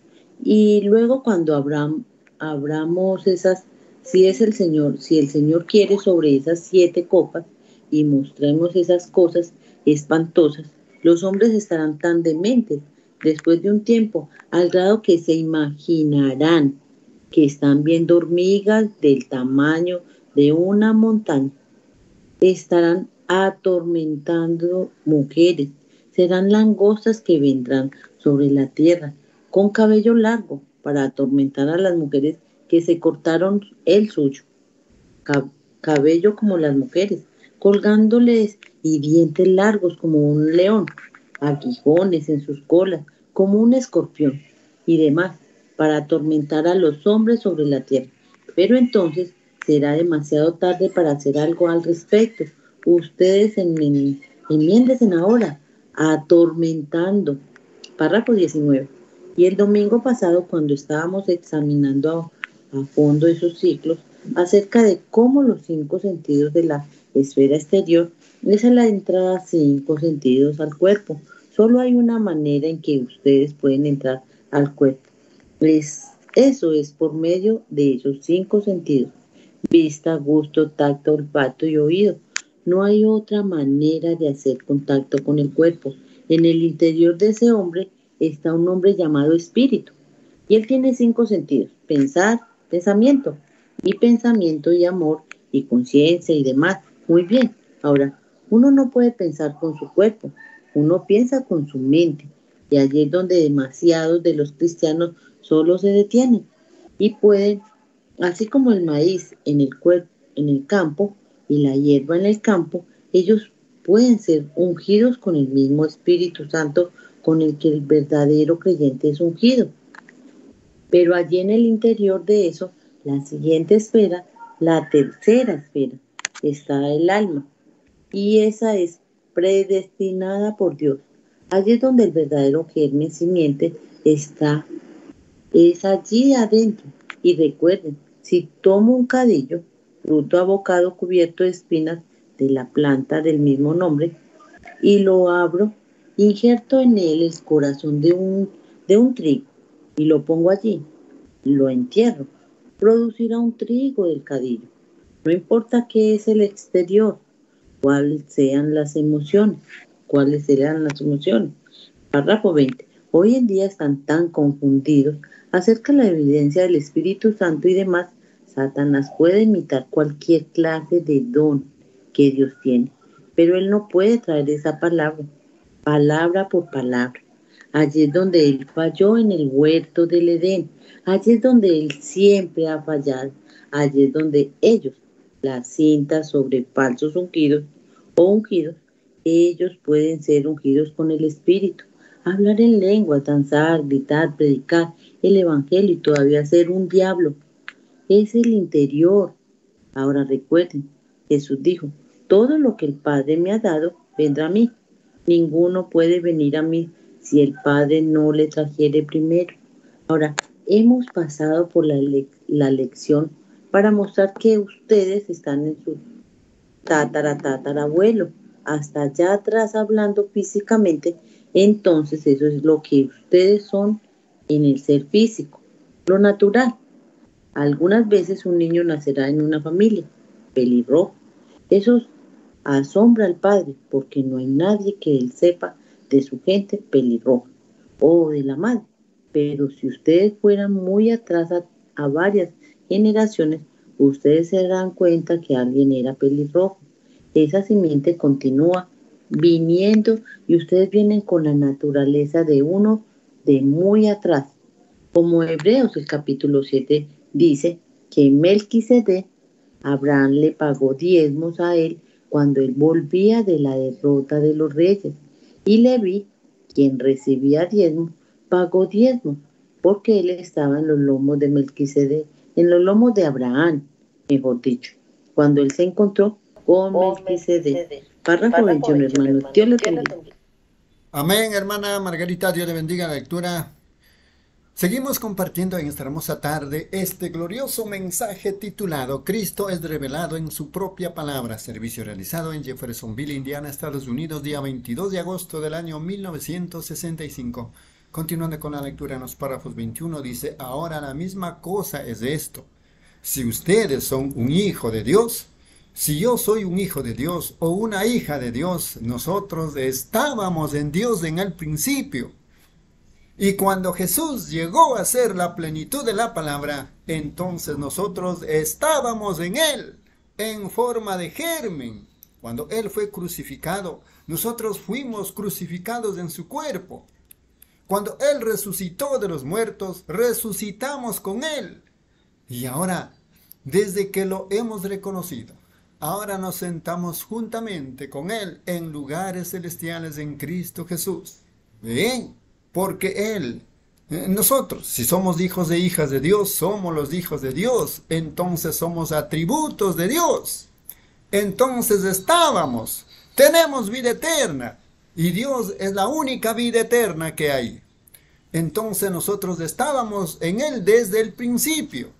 Y cuando Jesús llegó a hacer toda esa palabra, entonces éramos parte de Él entonces. Amén. Allí lo tienen. Cuando eso está allí adentro, no hay diablo, no hay poderes, no hay nada que alguna vez pueda moverlo. Ese es el poste de amarre del alma. Ustedes pueden estar ungidos aquí afuera en este espíritu y desear y hacer todas estas otras cosas. Pero cuando llegue a este poste de amarre a esa palabra, ustedes nunca se moverán de allí. Eso se mantendrá firme y fiel a esa palabra, a más no poder. Aparte de eso, a pesar de lo que ustedes hagan, todavía están perdidos. Esa edad de la iglesia de la Odisea, desnuda, ciega, miserable, ni siquiera lo sabe. Ven, está afuera. Es ese ungido, ungido con el verdadero espíritu. Ven, ese Espíritu Santo puede caer sobre un hombre en, en su espíritu. Pero su alma es su germen. Ese germen es la palabra. ¿Ven? ¿Y cómo? A mí no me importa cuánto puedan ustedes predicar, cuán bien hacen esto y cuánto aman. Esa es una de las entradas al espíritu. Ustedes no pueden amar con su cuerpo, ustedes aman con su espíritu. Esa es una de las entradas. Y ustedes pueden amar y aún amar a Dios y todavía no estar correctos. Ustedes pueden echar fuera demonios y predicar y hacer estas cosas, todavía no estar correctos. Jesús así lo dijo. Dijo que muchos vendrían en aquel día. Esa palabra lo concluye. En el principio era el verbo y el verbo era con Dios y el verbo era Dios. Y aquel verbo llegó a ser carne y habitó entre nosotros. Párrafo 23. Fíjense, voy a hablar sobre este tema de la Biblia, de Cristo revelado en su propia palabra. Donde saqué esta conclusión fue en mi cuarto. Alguna persona querida quizás esté sentada aquí esta mañana. Tengo un cuadro colgado en mi estudio. Allí arriba, ese es un cuadro del rostro de Cristo de Hodman, escrito en las bienaventuranzas. Y justamente donde uno llega a un punto en que como que se necesita una parte del cabello, ellos presionaron un poquito más duro la pluma a medida que pasa por un, uno por esa parte. Allí, allí está Él, colocado en su palabra, mirando directamente hacia afuera. Cristo en las bienaventuranzas. Alguien, quien quiera que haya sido, le doy gracias por Él. Y alguien trajo ese cuadro y lo puso allí en mi estudio de Elías subiendo en un carro de fuego. Nosotros apreciamos estas cosas. Muchas veces grandes multitudes, simplemente no tengo oportunidad de hablar y decir estas cosas, pero lo veo, hermano, hermana. Yo, yo lo sé y Dios lo sabe. Ahora voy a hablar sobre este tema de Cristo revelado en su propia palabra. ¿Cómo? En las bienaventuranzas. Allí está un retrato de Cristo como sobresaliendo. Allí es donde pensé en este tema. Ahora, Cristo y la palabra es lo mismo, ¿ven? Ellos dicen, ¿cómo fue la Biblia? La gente dice, yo iba en carro con un hombre no hace mucho tiempo.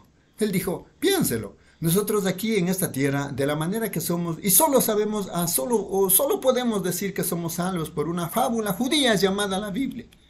Yo dije, Señor, no sé cómo dice usted eso, pero yo no creo que es una fábula judía, dije yo. Él dijo, bueno, una, uno ora ¿a qué le ora uno? Yo pedí tal y tal ciertas cosas, no las recibí. Párrafo 25. Y yo dije, usted ora mal. Nosotros nunca deberíamos de orar para cambiar la mente de Dios. Nosotros deberíamos de orar para cambiar nuestra mente. La mente de Dios no necesita ningún cambio. Ven, ven, está correcta. Yo dije, no por lo que uno oró. Yo conozco a un joven católico una vez, tenía un libro de oraciones diciendo oraciones y para que su madre viviera. Y ella murió. Y él tiró el libro de oraciones en el fuego. Bueno, ven, yo no estoy a favor del libro de oraciones, pero de todas maneras, ven, ustedes toman la actitud incorrecta. Ustedes le están tratando de decir a Dios qué hacer. La oración debería ser, Señor, cámbiame para cuadrar con tu palabra. No, cambia, no, déjame cambiar tu mente. Tú cambia mi mente. Ven, Tú cambia mi mente hacia tu voluntad. Y tu voluntad está escrito aquí en el libro. Y Señor, no, no me dejes ir hasta que tú formes mi, mi mente exactamente con tu mente. Y entonces cuando mi mente esté formada como tu mente, entonces creeré toda palabra que tú escribiste. Y tú dijiste allí adentro que tú harías que a los que te aman todo les ayuda bien. Y yo te amo, Señor. Todo está ayudando a bien. Amén, gloria a Dios. Párrafo 26.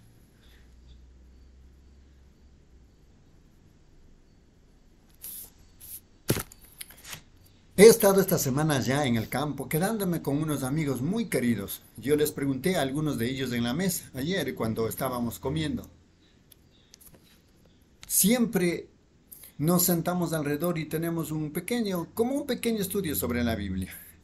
Estábamos hablando acerca del amor. Y había una cierta persona que me dijo, él dijo, yo creo que usted es un anticristo. Y yo dije, si eso fuera agradable a mi Señor, eso es lo que quiero ser. Quiero ser cualquier cosa que Él quiera que yo sea. Yo no amo a Él. Y si Él me echara en el infierno, todavía lo amaré a Él. Si me voy con el mismo espíritu que tengo ahora, él me miró a mí un poco extraño. Vi a, cuatro o cinco de ellos allí, hombres jóvenes, esposas jóvenes, buenas mujeres. Yo sabía cómo esos muchachos andaban a sus esposas, amaban a sus esposas, perdón. Así que les dije, yo dije, esta es la manera de probarlo. Si su esposa, antes de que ustedes se casaran, ahora, ustedes retrocedan. Digamos que ustedes, eh, eh, esta vida de casados, ustedes han estado soñando que estaban casados. Realmente no estaban casados, sino que ustedes soñaron de, que que, de lo que estaban. Y ustedes despertaron y fueron y hablaron de ella con su novia y dijeron, sabes, soñé que estábamos casados y tuvimos hijos, estábamos viviendo felices y esperando la venida del Señor y todo. Y entonces esta muchacha les dijera a ustedes, sabes, yo amo a otro hombre más de lo que te amo a ti. Yo pudiera ser más feliz con el otro hombre. Pudieran ustedes de todo. Ustedes de todo corazón amarla lo suficiente para decir que las bendiciones de Dios descansen sobre ti, querida. Vete con este otro hombre. ahora, ahora examinen eso, cada uno de ustedes, hombres o, ustedes, mujeres. Ven. Bueno, si su amor es correcto, harían eso porque están interesados en el bienestar de ella. Que ustedes saben que pudieran tenerla, pueden vivir con ella. Ustedes, ella es su esposa, ella lo será. Ella se casará con usted, pero ella no será feliz. Ella sería más feliz. Y entonces, si ustedes la aman, entonces ustedes quieren que ella sea feliz. Por tanto, cualquiera que sea la voluntad de Dios, que la voluntad de Dios sea hecha, sea que yo esté feliz con ella o no, yo quiero vivir para que Él esté satisfecho con lo que yo hago. Por tanto, examinen su objetivo y su motivo por medio de eso. Ustedes saben si aman a Dios o no. ¿Qué si Él dijera, ¿me servirías tú si yo te voy a desechar? yo te amo de todas maneras. Párrafo 27. Por tanto, si las iglesias vieran eso y pudieran creerlo de esa manera, no sería uno tratando de quitarle la pelota de fútbol al otro compañero cuando él está corriendo con ella. Él estaría protegiendo a ese. Bien, cuando el real y verdadero motivo y objetivo no sería uno tratando de decir, oye, yo tengo esto también. Yo, este soy yo, este, ven. Dios no puede usar a un hombre. Hay tanta imitación que le sigue y ese es Satanás. Y la gente no puede darse cuenta de eso. Están tratando de quitarle la pelota a alguien al cual se le han dado. Dejen que Dios levante un cierto ministerio y observen cuántos se van en pos de él. Ven, ven. Párrafo 28. Ahora, amor genuino para Dios. No importa qué parte soy, Señor, si tan solo puedo decir una palabra a favor de ella, ayudar a protegerla, permíteme hacer eso, ven. Esa es la misma cosa que sería acerca de su esposa, si ustedes verdaderamente la aman. Ven, no es uno, uno es un, amor filio, es un amor ágape, un amor genuino. Ella pudiera vivir con alguien más, más feliz. Ustedes no están casados ahora, por supuesto, ustedes no pueden. Párrafo 29. Y a propósito, la gente que está escuchando estas cintas, algunos, tantos, envían, dicen, pues en el divorcio y casamiento usted dijo esto y usted dijo aquello. Yo dije eso tantas veces. Estas cintas van solo. Estoy hablándole a mi congregación, hermano. Yo no soy responsable de lo que Dios le dio a usted para pastorear. Soy responsable por la clase de alimento que alimento a esta gente. Esto es solo para este tabernáculo. Ven, Ahora, si la gente quiere escuchar las cintas, eso depende de ellos. Pero estoy hablándole a los que Dios me ha dado. Fueron los pecados de ellos los que fueron omitidos. Alguien escribió y dijo, pues yo hice esto e hice aquello. Usted dijo que nuestros pecados, yo, yo no dije eso. Yo dije, atiendan esto. Esto solo es para esta gente aquí mismo, la gente aquí en el tabernáculo, mi propio rebaño. Ahora, si la gente quiere hibridar el alimento y cosas allá afuera, ustedes, ustedes obtengan la revelación de Dios y hagan lo que Dios les dice que hagan. Yo haré lo mismo, pero estos mensajes son para esta iglesia. Amén, gloria a Dios. Párrafo 30. Fíjense ahora. Nosotros regresamos, tenemos que tener una u otra cosa de, de la que tenemos que agarrarnos. Algo tiene que ser un poste de amarre, en otras palabras, es lo definitivo. Y todos deben tener algo definitivo o un absoluto. Yo prediqué sobre ello una vez hace años, sobre un absoluto, un punto que es eh, la última palabra. Como el árbitro en un juego de pelota. Si él dice que es un script, eso es exactamente lo que es. No importa cómo lo vieron ustedes. El árbitro dijo que es un stick Ustedes dijeron, yo, yo, no fue un streak, pasó, vi, yo vi él, no importa qué es. Cuando él dijo streak, eso es, eso lo concluye exactamente. Él, él es lo definitivo. Y el semáforo es algo definitivo. Si dice siga, ustedes dicen, pues yo, yo tengo prisa, yo tengo, no, no, dice usted, quédese quieto mientras la, hora, la otra persona sigue. Ven, eso es lo definitivo. Amén, gloria a Dios. Amén, mis amados hermanos y hermanas glorioso mensaje, glorioso tiempo que vivimos. Recordando una vez más, estamos en esta tarde compartiendo la lectura de este glorioso mensaje titulado Cristo es revelado en su propia palabra. Servicio realizado en Jeffersonville, Indiana, Estados Unidos, el día 22 de agosto del año 1965. A continuación, hermana Reina, por favor, en los párrafos 31 al 40. Amén. Dios le bendiga, hermanos y hermanas. Continuamos con la lectura del mensaje. Cristo es revelado en su propia palabra. Párrafo 31. Ahora, tiene que haber algo definitivo para todo lo que uno hace. Tuvo que haber algo definitivo cuando uno escogió a su esposa. Tuvo que haber una mujer que uno tenía que elegir Ahora, tiene que haber un tiempo donde cuando uno va a comprar un carro, ¿qué clase de definitivo va a ser uno? ¿Será Ford, Chevy, Plymouth, carro extranjero, sea lo que sea? Uno tiene que tener algo definitivo. Y así es con la vida cristiana. Tiene que haber algo definitivo.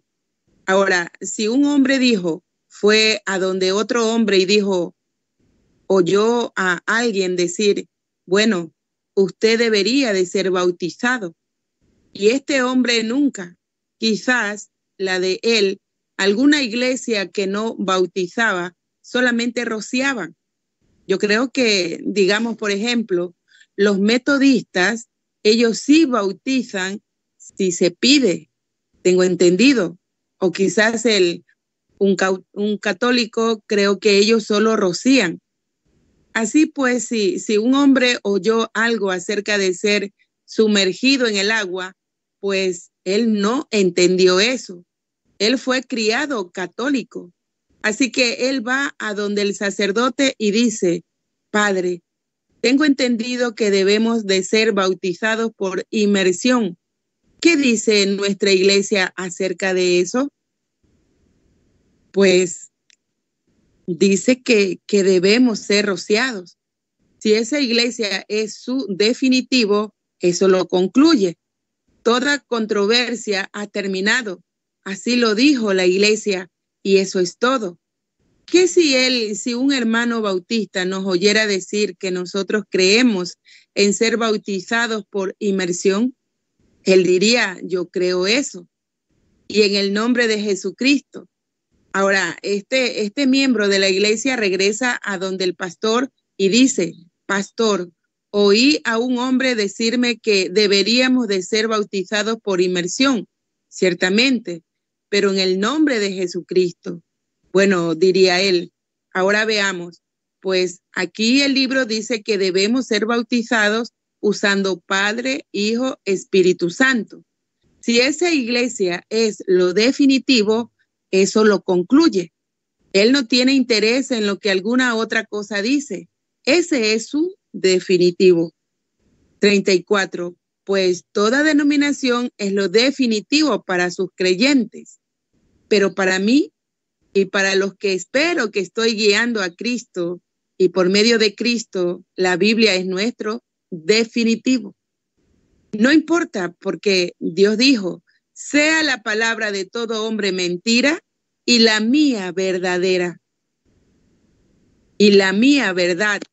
Y yo creo que la Biblia es lo definitivo de Dios. No importa lo que alguien más dice, ella es lo definitivo. La Biblia no es un libro de sistema, no, Señor. No es un libro de sistema ni un código de moralidad. La Biblia no es un libro de sistemas tantos sistemas y demás.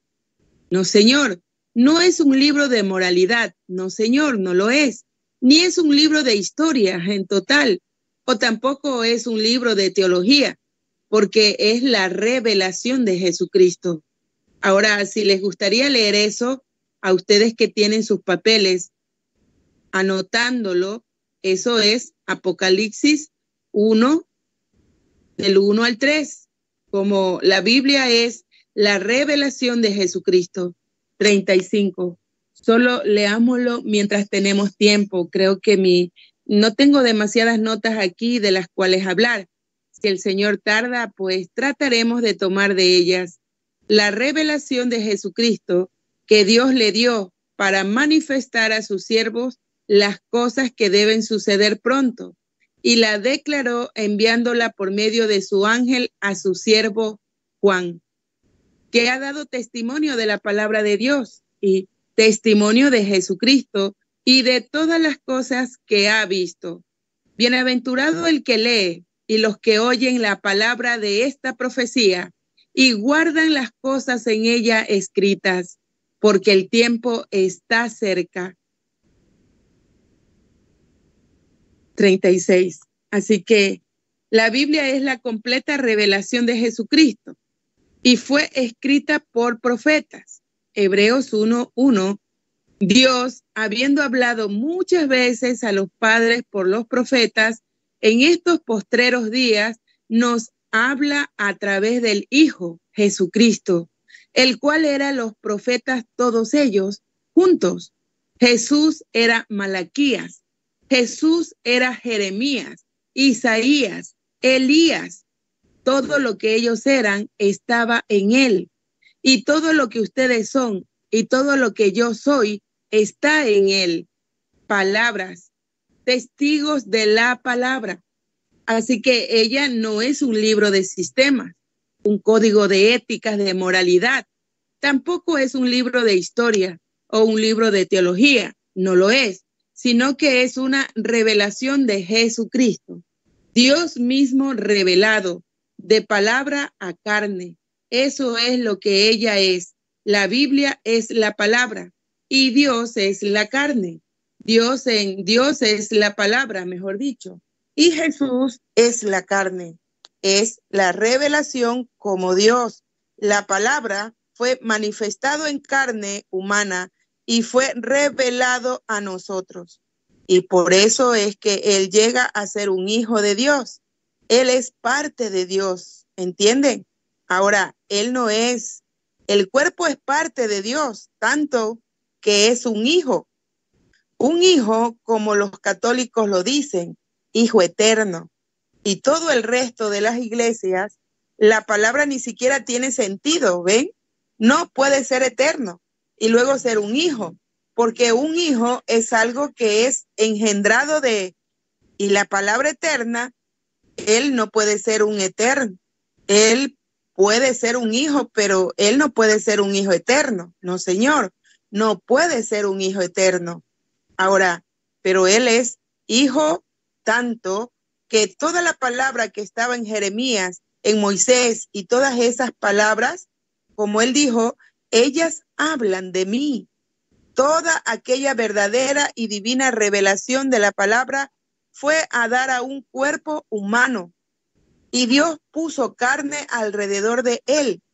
Esa es la razón de que él fue llamado hijo, la razón de que él se refiere a padre, pues es tan sencillo.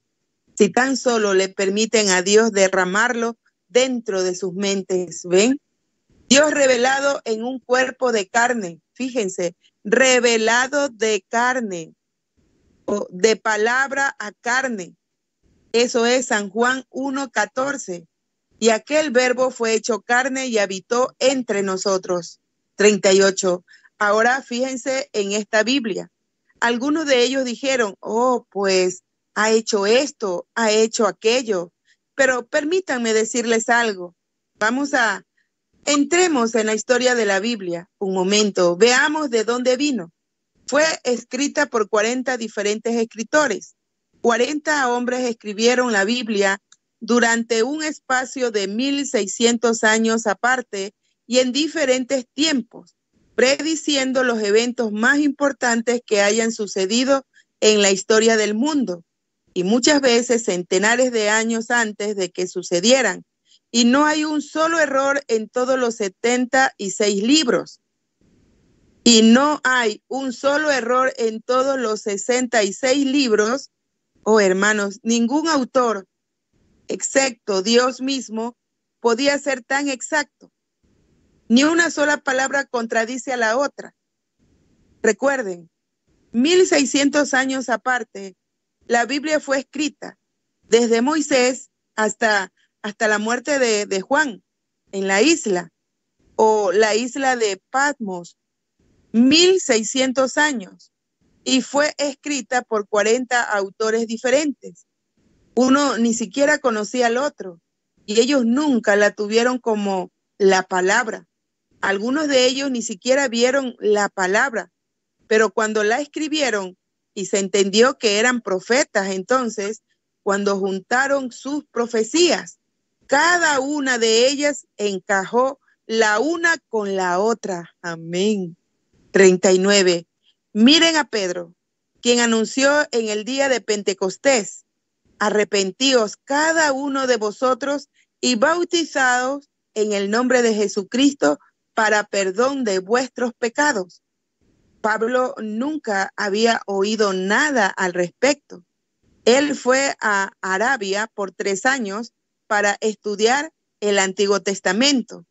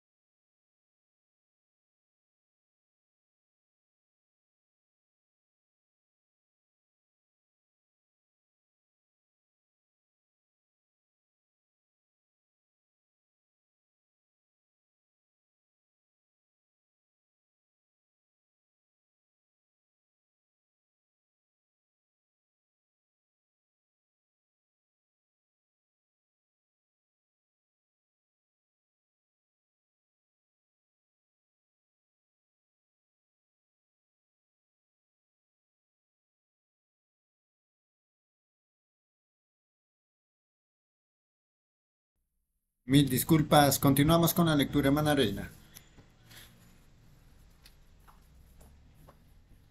Amén. Continuamos. Párrafo 39. Miren a Pedro, quien anunció en el día de Pentecostés, arrepentíos cada uno de vosotros y bautizaos en el nombre de Jesucristo para perdón de vuestros pecados. Pablo nunca había oído nada al respecto. Él fue a Arabia por tres años para estudiar el Antiguo Testamento, para ver quién era esta columna de fuego que le había, que le habló a él en el camino diciendo, Saulo, ¿por qué me persigues? ¿Cómo podía él estar errado? Él ni siquiera le consultó a la iglesia en lo absoluto. Y catorce años después, cuando se encontró con Pedro, estaban predicando lo mismo, palabra por palabra. Esa es nuestra Biblia. Que las palabras de otros hombres fallen. Esto ningún hombre le puede añadir uno ya no le añade a la Biblia. No, Señor. Esta es la completa revelación. Eso es todo. Amén. 40. Como los siete sellos. Los siete sellos. Alguien me continuaba diciendo, ahora usted va a, el Señor le hablará a usted, hermano Branham, cuando eso, estos siete sellos, cuando estos sellos sean revelados y nos dirá cómo acercarnos más a Dios y cómo hacerlo. Yo dije, no, Señor, no puede ser, porque la Biblia, los siete sellos en ella tienen los siete misterios escondidos. Ya estaba escrito, pero ellos no entendieron qué era. Observen cómo siguieron adelante con eso, siendo bautizados en el nombre de Jesús. ¿Ven? Eso no era. El nombre del Señor Jesucristo. Vean todas esas cosas. ¿Cómo fue? Porque hay muchos Jesús. Tengo varios amigos aquí en la tierra llamados Jesús, amigos ministros. No es eso. Es nuestro Señor Jesucristo. Ningún autor, excepto Dios, podía ser tan correcto. Ahora solo veamos cómo fue escrita esta Biblia. Amén. Dios le bendiga, mis hermanos. Amén. Amén, hermana Reina. Dios le bendiga la lectura. Recordando una vez más, estamos lecturando en esta hermosa tarde este glorioso mensaje titulado Cristo es revelado en su propia palabra. Servicio realizado en Jeffersonville, Indiana, Estados Unidos, día 22 de agosto del año 1965. Continuando con la lectura, hermana Margarita, por favor, en los párrafos 41 al 50. Sí, hermano, Dios lo bendiga.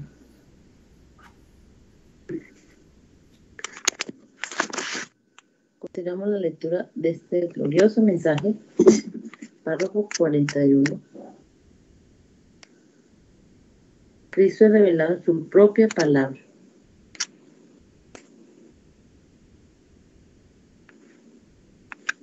Párrafo 41.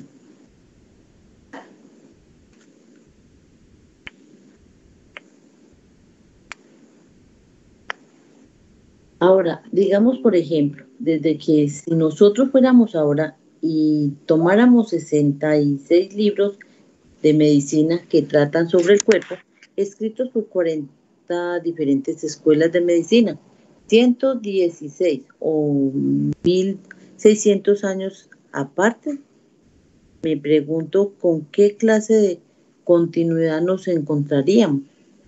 Cuando Jorge Washington, nuestro presidente, hace como 200 años para la pulmonía, le arrancaron una uña del dedo del pie y dejaron que sangrara una pinta, un poco menos de medio litro. Que si tomáramos, vayamos un poquito más adelante sobre algunas cosas a las que somos tan, tan atraídos hoy en día. Eso es ciencia. Que si tomáramos 40 diferentes de ciencia de 1600 años aparte y ver con qué nos encontraríamos.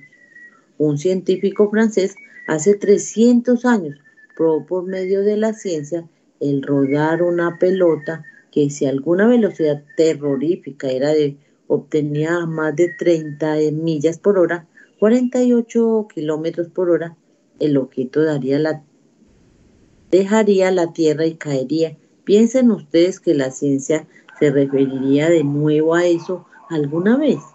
¿Hay alguna continuidad con eso ahora? Cuando manejan por la calle aquí en la carretera a 150 millas por hora, 241 kilómetros por hora. ¿Ven? Pero él probó científicamente eso por la presión de la pelota rodando en la Tierra, que a 30 millas por hora que cualquier objeto se levantaría de la Tierra y se iría, caería en el espacio. No, no hay continuidad en eso párrafo 42, pero ni una sola palabra en la Biblia contradice a la otra. Ni un solo profeta contradijo una vez al otro. Ellos eran cada uno perfectos. Y cuando venía uno y profetizaba, y ese verdadero profeta se levantaba y lo reprendía, entonces era manifestado. ¿Ven? Ven, así es que la Biblia es la palabra de Dios para todos los verdaderos creyentes. Párrafo 43. Ahora, uno no podría conseguir exactitud en lo que los doctores estarían de acuerdo. Uno ni siquiera puede conseguir esa actitud de ellos ahora. Uno no puede conseguir esa actitud en la ciencia ahora. Ahora, ustedes saben, hace algún tiempo nos dijeron que, que cuando la Biblia dice que él vio cuatro ángeles, en pie sobre los cuatro ángulos de la tierra, que eso no podía ser. La tierra era redonda, pero la Biblia dice cuatro ángulos. Pues ahora ustedes vieron hace dos semanas o hace tres semanas, han pasado ahora los periódicos publicaron este artículo. Descubrieron que el mundo es cuadrado. ¿Cuántos vieron eso? Pues seguro, ve. Yo lo tengo todo copiado, solo esperando que alguien diga algo párrafo 44, y van a descubrir algún día que tampoco están viviendo, perdón, que están viendo 150 millones de años luz en el espacio. Están yendo alrededor en un círculo. Eso es exactamente. Ustedes van a descubrir uno de estos días que cuando se van al cielo, ustedes no se van a alguna otra parte. Ustedes todavía están aquí mismo. Tremendo también solo que en otra dimensión, más rápida que esta. A través de este cuarto está pasando color, todo color, camisa, vestido, cualquier cosa que ustedes tienen puesto. Es eterno, está registrado, dando vueltas y vueltas alrededor del mundo. Cada vez que ustedes pestañean sus ojos, está registrado. Observen la televisión probando eso. Cuando ustedes nacen, Dios pone un disco no hace, pone un disco, no hace mucho ruido por un poquito de tiempo. Ustedes saben, ese es el pequeño bebé hasta que llega la responsabilidad. Entonces comienza el ruido. Él comienza a decir cosas y hacer y a hacer cosas por las que él tiene que responder. Y entonces cuando esa vida termina, ese disco o esa cinta es quitado y puesto en la gran biblioteca de Dios. Ahora, ¿cómo van a evitar eso en, la, en el tribunal. Es tocada de nuevo en frente de ustedes. Cada movimiento que hicieron, cada pensamiento que pasó por sus mentes, pueden ver eso. Ahora pueden ver donde Dios, párrafo 46, parado aquí en la otra noche, y había estado un hombre en la plataforma, alto, calvo, un hombre muy bien parecido, fuerte, y él salió el Señor le había dicho muchísimas cosas acerca de su familia y que debía de hacer. Y él fue ahí y se sentó en unos minutos y había, había ahí venía delante de mí otro hombre así, pero él tenía su rostro hacia abajo. Yo no podía distinguir y miré hacia el hombre de nuevo allá y él no era él porque era otra cosa. Y a este hombre yo no lo podía encontrar. Miré alrededor, no había nadie detrás de mí. Yo dije, el hombre está sentado dentro de esas cortinas allí. Era nuestro, un hermano que viene aquí a la iglesia, alto, calmo, un tipo de, de hombre bien parecido, sentado allí así. Y él tenía su rostro inclinado orando porque él estaba casi a punto de morir con problemas del estómago. Él iba a comprar un par de zapatos. Su esposa quería que él se comprara un par de zapatos nuevos. Él dijo, no, no, no tengo que comprarlos, porque no voy a vivir para usarlos. Él se estaba muriendo. Él estaba sentado allí, ven ustedes, en esa dimensión, aleluya. Dios simplemente se movió para allá, adentro, y dijo, allí está sentado, justamente en la posición en la que él estaba. Ven lo que quiero decir. Párrafo 47. Ahora fíjese, no hay ningún error en las escrituras. Jesús, la palabra de Dios, percibe el pensamiento que está en el corazón. La palabra de Dios es fuerte, es más fuerte, más cortante. Hebreos 4:12. La palabra de Dios es más cortante, más eficaz que una espada de dos pilos. Un, aún discierne los pensamientos e intenciones de la mente. ¿Ven? Entra muy adentro en la mente y saca y discierne. ¿Qué es discernir? Dar a conocer, revelar. Y eso es lo que la palabra de Dios hace. Hoy en día decimos, la Iglesia Católica es la palabra de Dios. Los bautistas, los metodistas, la pentecostal, el tabernáculo, eso está errado. La palabra es la revelación de Dios revelado por la palabra. No pudiéramos haber conseguido conseguir ninguna continuidad entre médicos, entre científicos diferentes. Si Einstein tan solo hubiera tenido la aplicación espiritual como él tenía la aplicación física, a medida él estudiaba las leyes de la luz y demás, él nos pudiera haber dicho algo cuando si su mensaje sobre ese gran centro en alguna parte en los cielos, que si alguna vez entraba en contacto con ese centro, uno pudiera crear tierras, hacer cualquier cosa y poder, y poder sería ilimitado, perdón, y el poder sería ilimitado, ¿ven? Él había visto eso Párrafo 49. Ustedes ven estas pequeñas bolsas pasando por el aire, las llaman platillos y demás. De tan, eso pues es mejor que dejemos eso en paz. Oyen de todas estas personas que desaparecen. Dicen ustedes, no se oye de ellos, están parados allí y no están allí. De esa manera va a ser el rapto. Uno de ellos se dejará venir hacia abajo y este cuerpo terrestre se vestirá con un cuerpo celestial y ellos serán, quedarán el pie, quedará piel, cabello, hueso, será transformado en un momento de, de tiempo, dejándose venir del espacio y llevándose eso a casa. Veamos todo esto sucediendo ahora. Y él y el Pentágono preguntándose acerca de estas luces y luces místicas y todo lo que están viendo en el cielo.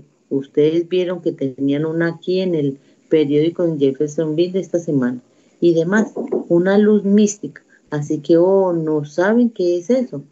Pero escuchen, hijitos, lo va a recoger uno de estos días. Ven, ven, no se preocupen.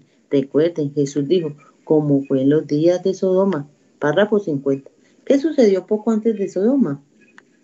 Dios descendió con unos ángeles y tuvieron un juicio investigador. Dijo, he oído el clamor que es tan pecaminoso, tan grande, así que yo he descendido para averiguar si es totalmente la verdad o no. ¿Es correcto eso? Observen a ese principal que se quedó con Abraham. Pudo discernir los pensamientos que estaban en el corazón de Sara detrás de él. Ahora ustedes miren, alrededor solo un poquito y fíjense, ven, observen lo que está haciendo. Lo mismo hoy en día es un juicio investigador, pues después de un tiempo, la iglesia, cuando puede quedarse en ese lugar y toda la simiente ha sido traída a su, a su sitio, habrá desaparecido. No sabrá qué le sucedió a ellos. Uno estará yendo a una dirección, ven, uno estará yendo a la casa del pastor y uno estará yendo para acá o para allá. Y cuando menos lo piensan, no están allí. ¿Por qué no? La cual era el tipo, Dios se lo llevó. Y no fue allá, desciende a investigar la continuidad, como la traslación de no, un tipo de Israel saliendo, perdón, un tipo de Israel siendo llevado en el arca. Párrafo 51, hermanos. Dios les bendiga. Amén, hermana Margarita, Dios le bendiga. Continuamos compartiendo la lectura en esta tarde y noche muy especial. Este glorioso mensaje de nuestro profeta Elías. Cristo es revelado en su propia palabra. Servicio realizado en Jeffersonville, Indiana, Estados Unidos, día 22 de agosto del año 1965. Para continuar con la lectura, hermana Erika, Dios le bendiga, párrafos 51 al 60. Dios le bendiga, hermanos hermanas. Vamos a lecturar el mensaje Cristo es revelado en su propia palabra, del año 650822, párrafo 51. Tan perfecta, la palabra de Dios tan perfecta, aún hasta el Antiguo y Nuevo Testamento. Son dos mitades y un entero. Eso es correcto. El Antiguo Testamento es la mitad de ella y el Nuevo Testamento es la mitad de ella. Póngalos juntos Ustedes tienen toda la revelación de Jesucristo. Allí están los profetas hablando. Y aquí está Él en persona, ¿ve? Dos, dos mitades en un entero. Ahora no queremos tomar demasiado. Ahora recuerden, el Antiguo Testamento no está completo sin el Nuevo. Y el Nuevo no pudiera estar completo sin el Antiguo. Esa es la razón de que dije dos mitades, un entero. Porque los profetas dijeron, Él estará aquí, Él estará aquí, él estará aquí, le harán esto a Él, le harán esto a Él. Y aquí está Él, Él estuvo aquí, Él estuvo aquí y le hicieron esto a Él y le hicieron esto a Él. Acabo de predicar sobre eso hace una noche. 53. Ahora, para estudiar la escritura, Pablo le dijo a Timoteo, estudiala, usa bien la palabra de Dios, la cual es verdad. Esas son tres cosas indispensables en la escritura. Al usar la palabra de Dios, hay tres cosas que ustedes no deben hacer. Ahora, estudiemos esa durante los siguientes diez minutos. Tres cosas que ustedes no deben hacer y, y afuera y en todo el país, donde quiera que estén, por toda la nación. Asegúrense de anotar estas en su mente. Si ustedes no tienen un lápiz, ustedes no deben hacer estas cosas. Les decimos todo el tiempo cómo deben hacer. Ahora les voy a decir qué es lo que no deben hacer. Ahora, ustedes no deben interpretar mal la palabra. Ustedes dicen, pues yo creo que quiere decir esto, quiere decir exactamente lo que dice. No necesita intérprete. Y ustedes no deben de colocar mal la palabra. Y ustedes no deben dislocar la palabra. Y si lo hiciéramos, cualquiera de estas pone la, a toda la Biblia en confusión y en un caos. 54. Fíjense interpretar mal a Jesús en la forma de Dios en un hombre. Ustedes lo harían a él, ustedes lo harían a él un Dios de tres. Interpretar mal a Jesucristo siendo la palabra, ustedes lo harían a él un Dios de tres o ustedes lo harían a él la segunda persona en una deidad. Y al hacer eso, ustedes enredarían todas las escrituras. Ustedes nunca llegarían a ninguna parte. Así que no debe ser interpretada mal. Si ustedes dicen que una cierta cosa ustedes le ponen una interpretación a ella y ustedes le aplican a otro tiempo o ha sido aplicada a otro tiempo, ustedes también hacen una interpretación incorrecta. Si alguien interpreta mal a Jesucristo en la Biblia de que no es Dios mismo, hacerlo a él la segunda persona o un Dios de tres, esto trastornaría toda palabra en toda la Biblia, quebrantaría el primer mandamiento. No tendrás ningún Dios ajeno delante de mí. Muy bien, haría toda la raza cristiana un montón de adoradores paganos adorando a tres diferentes dioses. ¿Ven qué clase de, de, Biblia tendrían ustedes? Entonces eso nos haría lo que los judíos dicen que somos. Dijeron, ¿cuál de esos dioses es su Dios? ¿Ven? Así que, ¿ven ustedes? Ustedes no pueden, no deben interpretar mal la Biblia porque Jesús mismo es la interpretación de la Biblia. Cuando Él es manifestado en la edad en la que la parte de su cuerpo está siendo manifestada, si es la edad de la mano, debe ser una mano. No puede ser una edad de la cabeza. Si es la edad de la voz, pues entonces no puede ser una edad del pie. ¿Ven? Y ahora estamos en la edad del ojo. Y ahora la siguiente es el mismo que viene, ver profético. 56. ¿Ven? A través de la edad. Empezamos desde los cimientos, desde la primera edad de la iglesia, cuando la semilla entró en la tierra, la semilla completa. Luego salió por medio de los pies Lutero, volvió a salir luego por medio de Wesley, luego en los pentecostales. las lenguas, en los labios, ¿ven? Y ahora está en los ojos proféticos de Malaquías 4 y demás. Y ahora no queda nada más por venir, sino él mismo para entrar en esa, porque esa es la última cosa que hay. La siguiente es la inteligencia y nosotros no tenemos inteligencia por propia, es la suya, no tenemos vista propia. ¿Cómo puede un hombre ver de antemano esas cosas? Él no lo puede hacer. Es Dios mismo, ¿ven? Está, está llegando a un punto y Él ha gobernado el cuerpo por todo el camino. Luego el cuerpo completo de Cristo es revelado en la forma de una novia que fue sacada de, un, de su costado, como Adán lo hizo en el principio, como la de Adán lo fue, mejor dicho, en el principio. 57. Sí, Dios. Esto pondría toda la Biblia en una confusión, quebrantaría el primer mandamiento y haría un Dios, un Dios pagando de tres. Simplemente, simplemente arruinaría todo el cuadro de la Biblia. Así que ustedes no deben interpretar mal la Biblia. Ahora, esa solo es una cosa. Cuando toda la escritura de la Biblia tiene la misma aplicación, ustedes tienen que colocarla en su lugar. Y al, y al colocarla mal, ustedes pudieran hacerlo a él, Dios, en una edad. Y en la siguiente edad, ustedes lo harían a él una historia al colocarla mal. Así que ustedes no deben colocar mal la escritura. Él es Dios todo el tiempo. Si ustedes lo hicieron a él hoy un Dios de historia, lo que lleva ahí atrás, y él no es el mismo hoy. ¿Qué van a hacer con Hebreos 13, 8? ¿Ven? Él es el mismo ayer, hoy, por los siglos. Ahora sí, que vean lo que esto haría y lo que ha hecho. Ya lo ha hecho. Lo hace él negar su propia palabra al colocar mal las escrituras. 58. Dislocar las escrituras.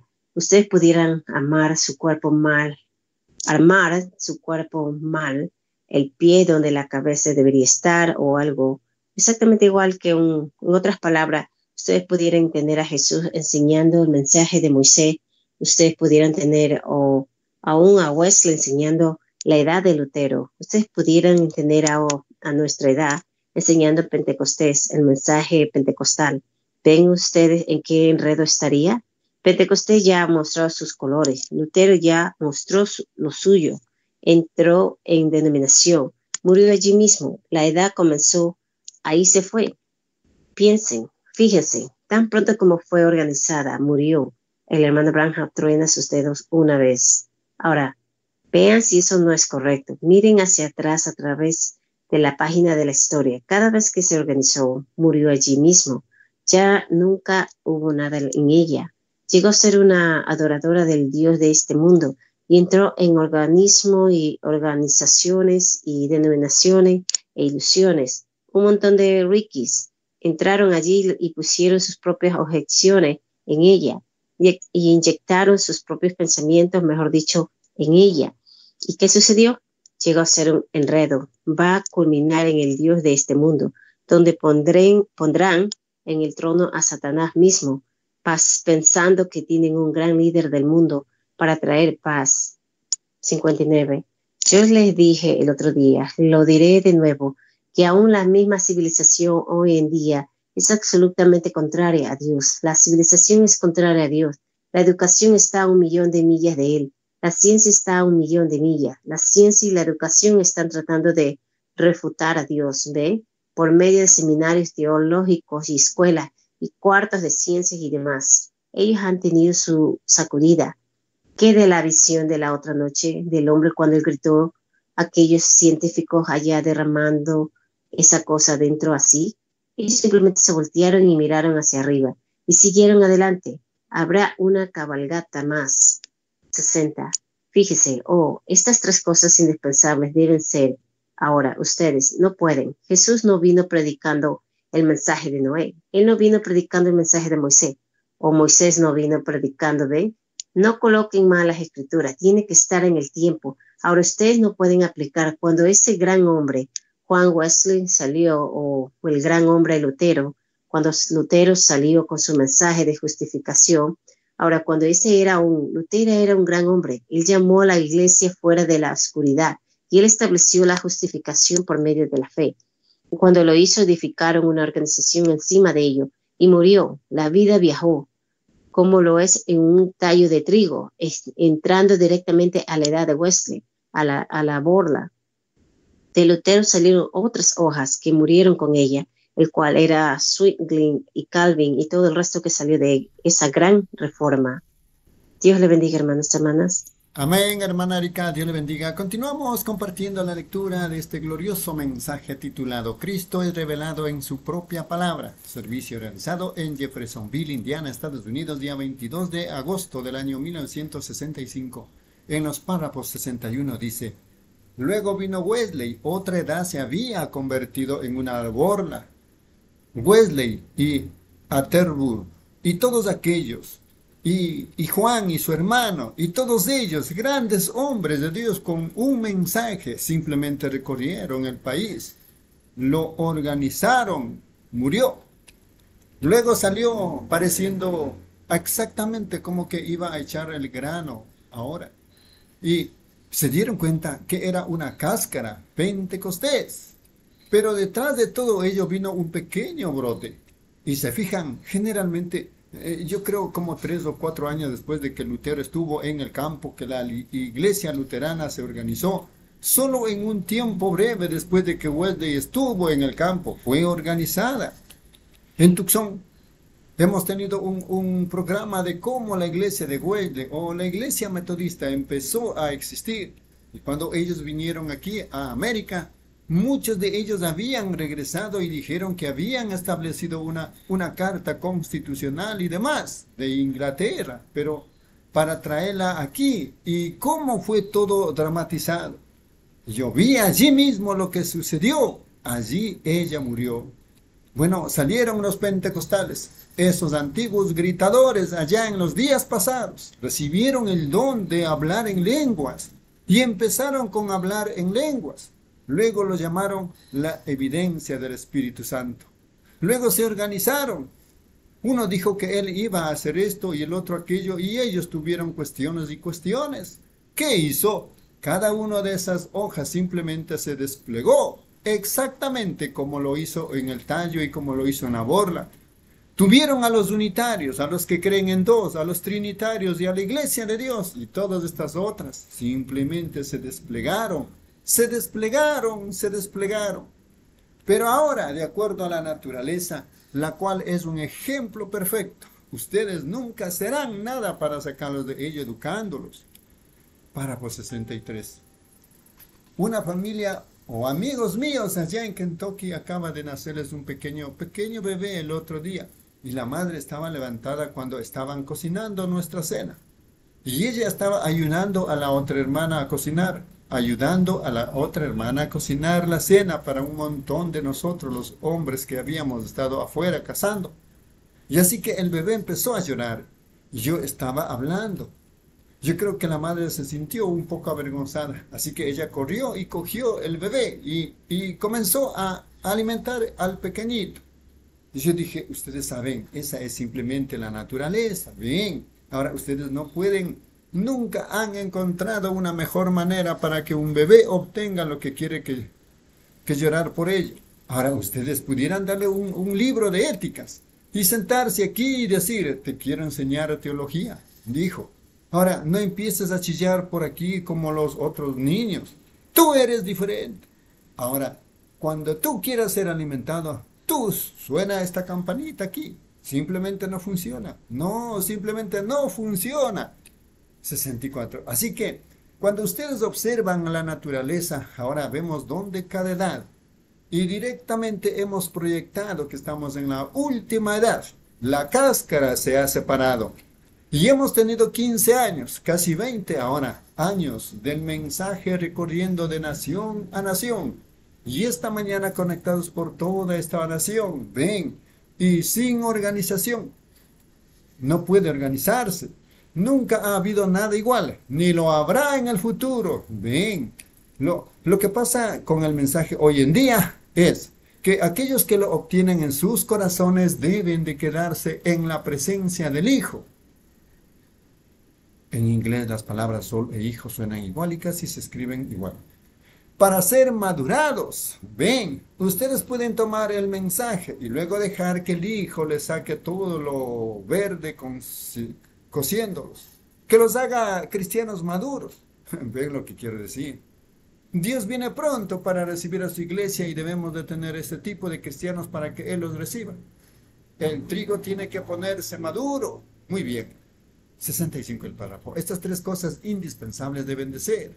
No debe interpretarse mal o manejarse mal, interpretarse mal o, dislocarla. Debe de ser conservada exactamente de la manera que Dios dijo que era. Para el mundo es un libro de misterio. La gente cree que solo es un libro misterioso. Una vez yo estaba hablando con un hombre muy famoso aquí en la ciudad que tiene una gran posición de cristianismo y él dijo, traté de leer el libro de Apocalipsis una noche. Dijo, Juan debe de haberse comido una gran porción de chile picante y tuvo una pesadilla. Ven, un libro de misterio. 66. Pero mientras que para el verdadero creyente es la revelación de Dios siendo revelada en la edad en la que estamos viviendo. Él dijo, mis palabras son espíritu y vida. Jesús dijo eso. Además, la palabra es una semilla que el sembrador sembró.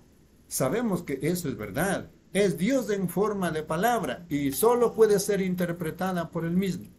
La mente humana no es capaz de interpretar la mente de Dios. ¿Cómo puede la pequeña, pequeña mente finita interpretar la mente infinita? Cuando ni siquiera podemos interpretar la mente el uno del otro. Y ustedes fíjense, es el único que puede interpretarla y él se la interpreta a quien él quiere. No dice, mortales de la antigüedad, mientras andaban a grandes pasos por la, 30, por la tierra, perdón, muchas veces y de muchas maneras Dios muchas veces y de muchas maneras se reveló él mismo a sus profetas. Ven, 67. Y fíjense a quien él lo quieran revelar. Y él lo planeó de tal manera que él mismo pueda esconderse en la escritura del teólogo más inteligente que hay. Oh, hermanos, él simplemente puede esconderse, estar allí mismo en la escritura y ustedes mirar todo el día y nunca verlo. Mirar toda una vida y nunca verlo. Él simplemente puede esconderse, estando allí. Amén. Ahora, por favor, en todas partes, permitan que eso penetre. Que Dios en la palabra puede esconderse él mismo de tal manera en la palabra que no hay teólogo o escuela en el mundo que pudiera encontrarlo alguna vez. Y sin embargo, Él está allí mismo. Ustedes dicen, ¿es correcto eso, hermano Branham? ¿Qué de los fariseos y saduceos? ¿Qué de en cada edad en lo que ha hecho? Seguro, Él lo ha hecho así en cada edad. Ahora nosotros podríamos comprobar eso. Pensemos en los días de Noé, una edad inteligente e intelectual. ¿Cómo Él se escondió en su palabra prometida? En los días de Moisés, ¿cómo él se escondió? En los días de Elías, ¿cómo él se escondió? En los días de Jesús, ¿cómo él se escondió? En el mundo estaba y el mundo por él fue hecho. Pero el mundo no le conoció. A lo suyo vino, los suyos no le recibieron. Bien. Párrafo 68. El mismo se esconde de los hombres más inteligentes e intelectuales que hay en la tierra. Ustedes dicen, pues este es el doctor Santo Padre Fulano de tal. A mí no me importa quién es él. Dios se esconde de él y se lo revelará a niños que aprenderán. Ven, niños de Dios, simiente predestinada. Amén. Piensen, el poderoso Dios estando en sus propias palabras, cegando a la gente inteligente y educada de esta edad presente, y no lo ven. Piensan que es un montón de fanatismo.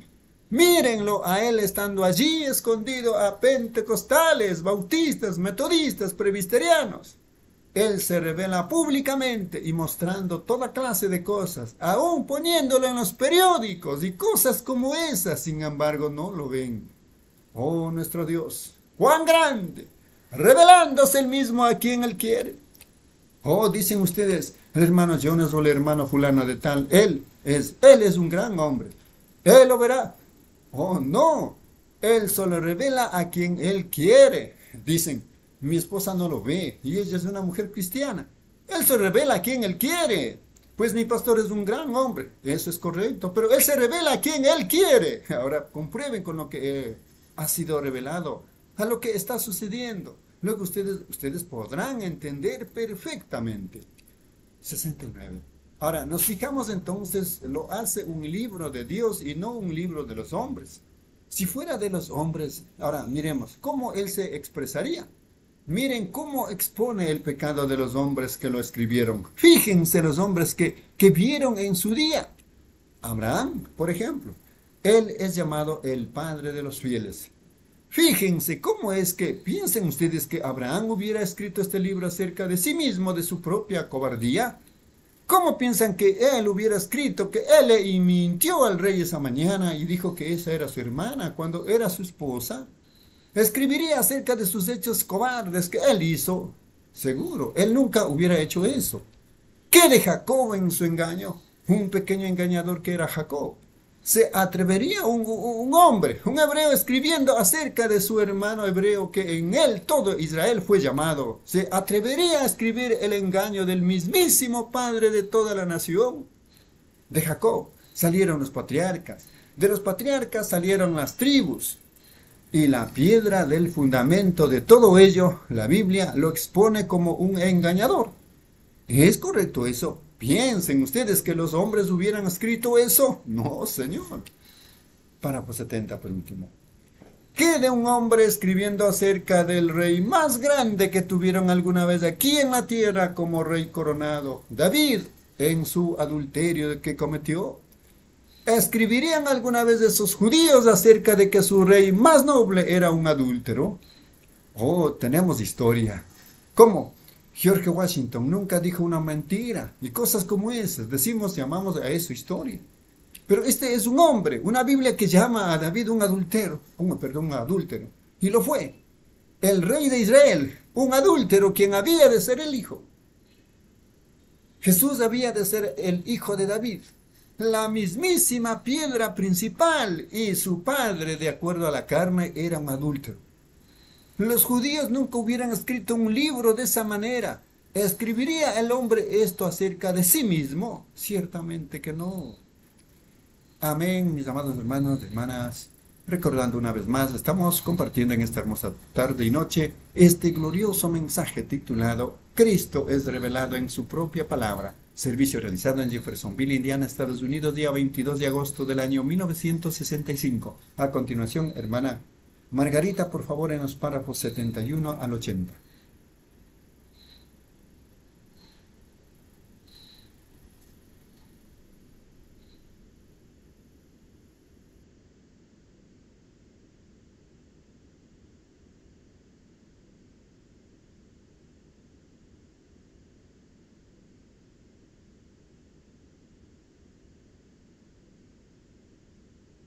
Me quedo hasta la despierto.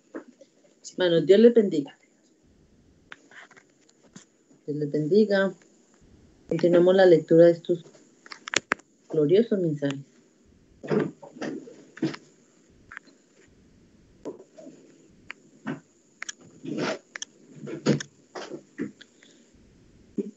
Cambia, Cristo es revelado en su propia palabra. Párrafo Párrafo 71.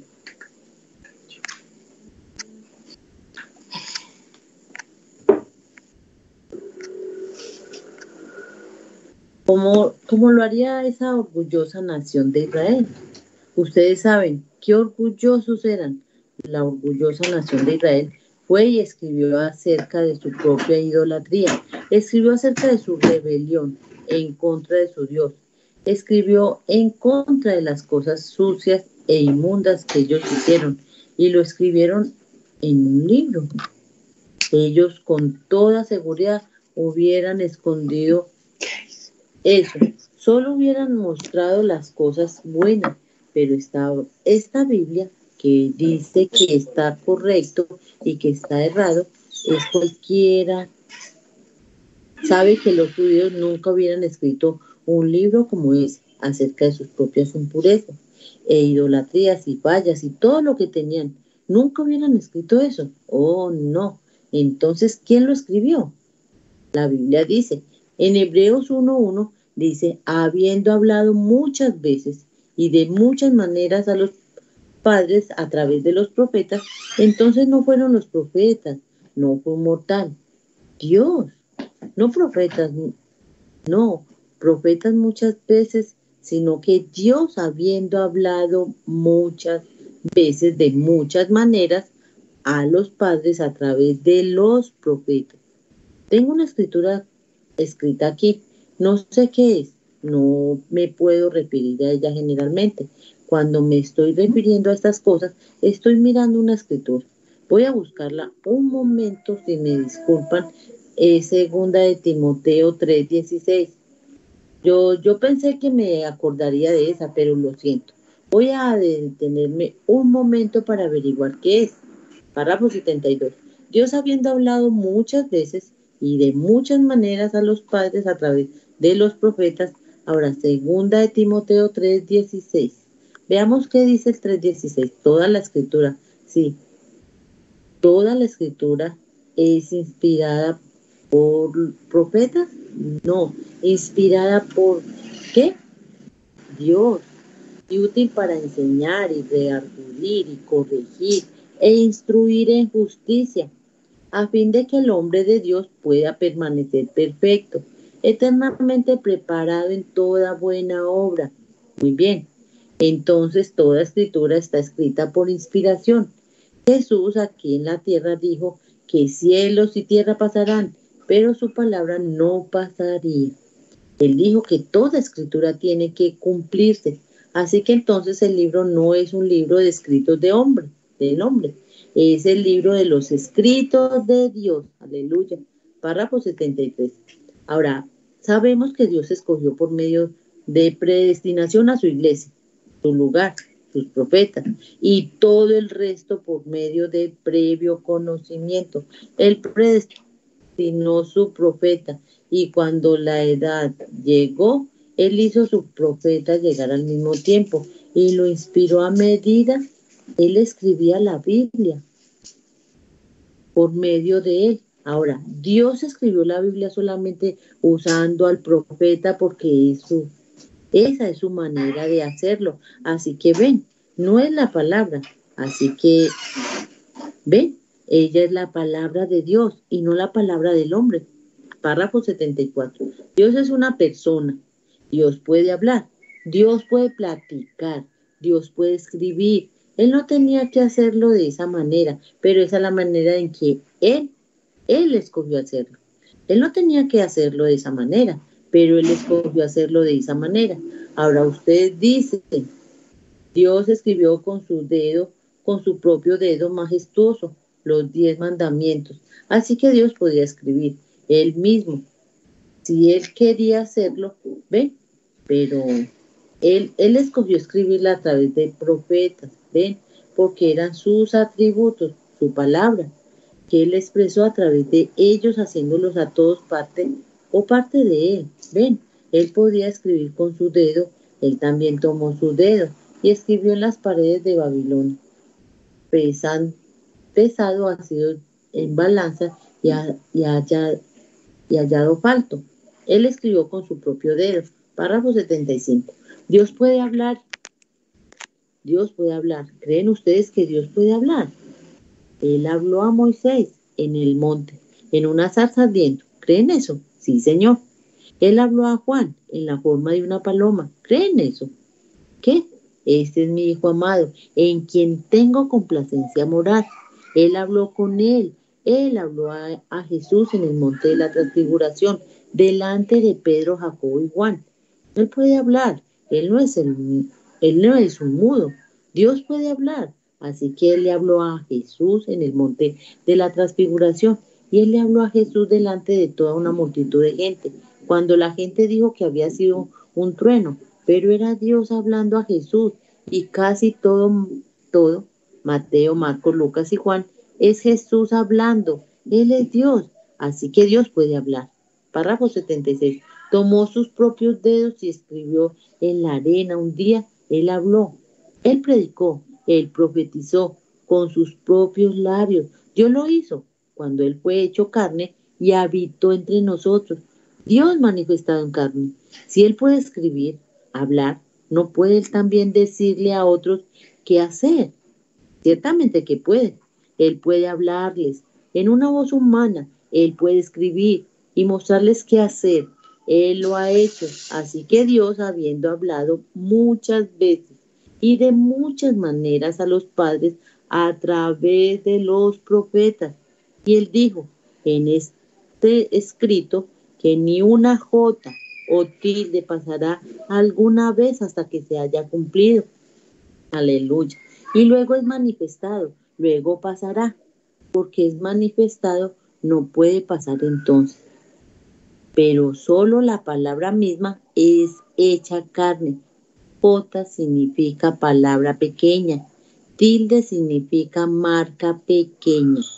Tremendo. Ni siquiera una sola puntuación, una sola expresión. Nada fallará alguna vez en la palabra de Dios. No puede fallar, porque es Dios.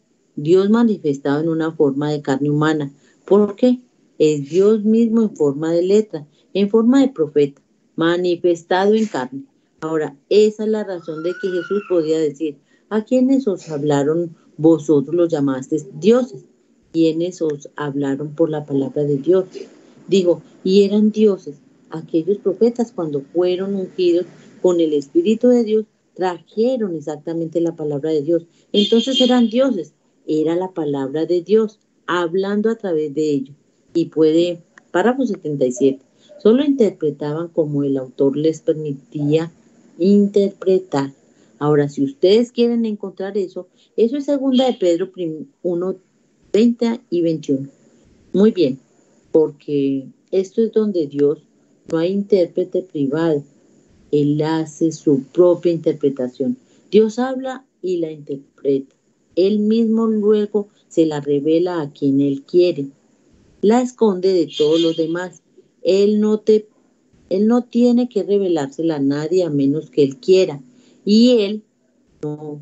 Él, él ha expresado toda su cosa en la escritura, por tanto, toda la cosa ya ha sido dada a conocer. Solo es que él simplemente está sentado allí observándolo, observándolo suceder, no solo viendo el cuerpo siendo formado y regresar a lo suyo, a la forma, su novia, otra vez, muy bien, párrafo 78, tremendo. Los creyentes lo creen, como Abraham, que llamó cosas contrarias a ello como si no fueran. También ella, también esta palabra discierne los secretos de los corazones. Hebreos 14, 12. Discierne los secretos del corazón. Párrafo 79. Los profetas no siempre entendieron lo que estaban escribiendo o lo que estaban diciendo, o ninguna manera lo hubieran dicho. Si lo pudieran haber entendido, ven. Pero la Biblia dice que ellos fueron inspirados por el Espíritu Santo inspirados.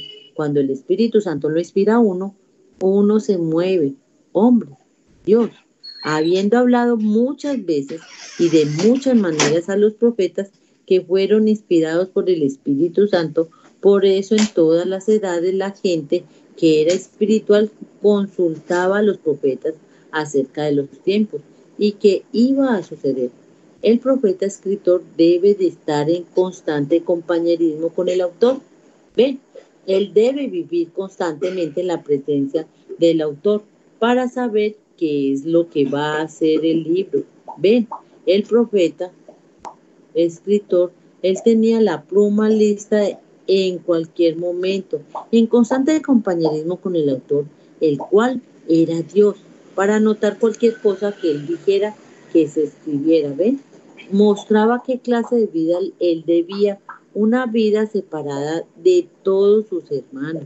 Párrafo 80 para terminar. Ahora, por eso es que el profeta tenía en su mente constantemente fija en lo que Dios decía, no en lo que el hombre pensaba o lo que la edad pensaba, lo que la iglesia pensaba, lo que el reino pensaba, lo que Dios pensaba. Él solo expresaba los pensamientos de Dios en la palabra, porque una palabra es un pensamiento cuando es expresado ¿Lo captaron ahora? La palabra es un pensamiento expresado, así que el profeta estaba esperando los pensamientos de Dios. y cuando Dios le revelaba sus pensamientos a él, él lo expresaba en palabras. Así dice el Señor. Ven, no es así, digo yo. El profeta, así dice el Señor. Ven, muy bien. Por eso desafiaron reinos, edades y de la iglesia, lo cual hacerlo así en sus días era una pena de muerte. Lleguen ustedes ante un rey y díganle, así dice el Señor, tal y tal va a suceder. Ustedes harían que los cortaran, les cortaran la cabeza. La iglesia los mataría ahora mismo por hacerlo. Pero estos profetas eran osados. ¿Por qué? Fueron inspirados por el Espíritu Santo, ven. Y ellos por eso llegaron a ser osados y escribieron la infalible palabra de Dios. Párrafo 81, hermanos. Dios les bendiga. Amén, hermana Margarita. Dios le bendiga a mis amados hermanos y hermanas por el tiempo. Vamos a concluir con este glorioso compañerismo. Si Dios permite, el día de mañana continuaremos a partir de los párrafos 81 de este glorioso mensaje titulado Cristo es revelado en su propia palabra, servicio realizado en Jeffersonville, Indiana, Estados Unidos, día 22 de agosto del año 1965. Agradeciendo a nuestro Padre Celestial y a todos ustedes por este glorioso compañerismo, nos despedimos con una oración. Gracias, amantísimo Padre Celestial, por este privilegio, Señor, que tú nos das de día a día de encontrarnos con tu palabra, Señor, y, estar en tu presencia, Padre amado. En este último tiempo tú enviaste, Señor, así como en tiempo de Jesús tú mandaste a tu Hijo Jesús en carne, Señor, pero en este último tiempo está la palabra revelada. Oh Dios, y también mandaste a un mensajero, profeta gentil, a revelar todos los misterios. Esa es la razón, es el motivo que nos encontramos aquí firmes, Señor, todos los días, haciendo este compañerismo y compartiendo, Señor. De esa manera, cumplir tu profecía de Apocalipsis 10, 8 al 11 donde tenemos que comernos del libro, profetizar nuevamente para tribus, lenguas, naciones y reyes, oh Padre. Sé que estos mensajes se quedaron almacenados porque tú lo ordenaste, oh Padre amado, sabiendo de que ese era el mensaje de la hora, Apocalipsis 10, 7. Pero ahora, Señor, tú dijiste también en Apocalipsis 22, 10 que no sellemos las palabras de la profecía, porque el tiempo está cerca.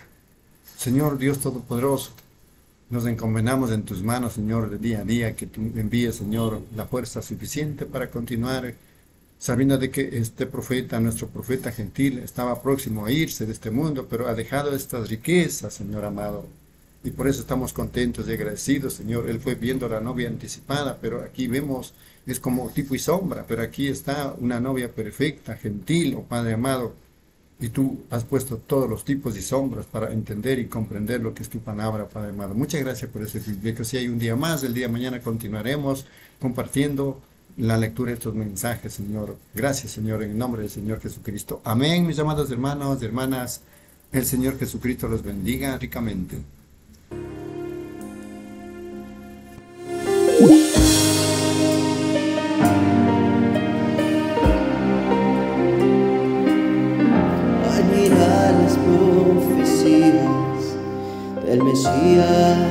En la vida de José. Vemos la vida y el ministerio de Jesucristo. José recibió la promesa de un rey, como el Señor Jesús, rechazado y vendido por sus hermanos, como el Señor la visión, un beso fue libre, el otro tercio, Jesucristo en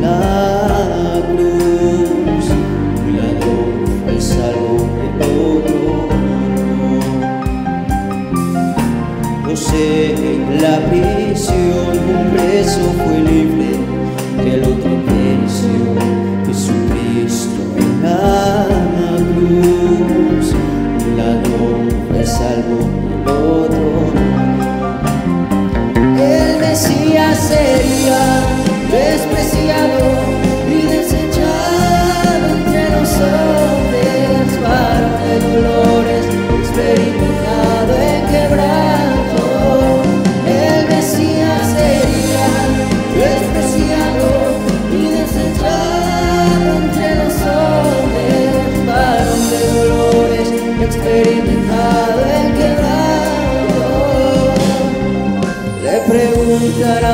heridas honestas en tus manos. Y él responderá con ellas huyendo en la casa de mis amigos él responderá con ellas huyendo en la casa de mis amigos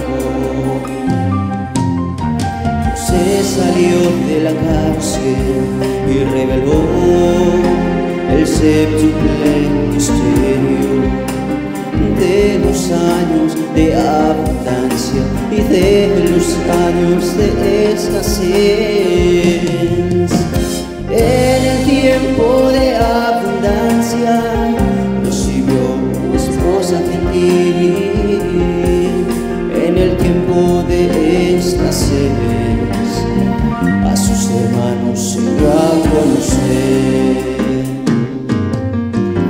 La mayor bendición para Efraín, oh, y después para Manasés.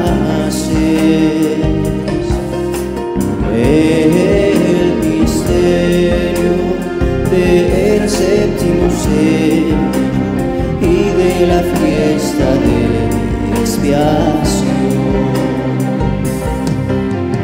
El misterio del séptimo sello y de la fiesta de expiación.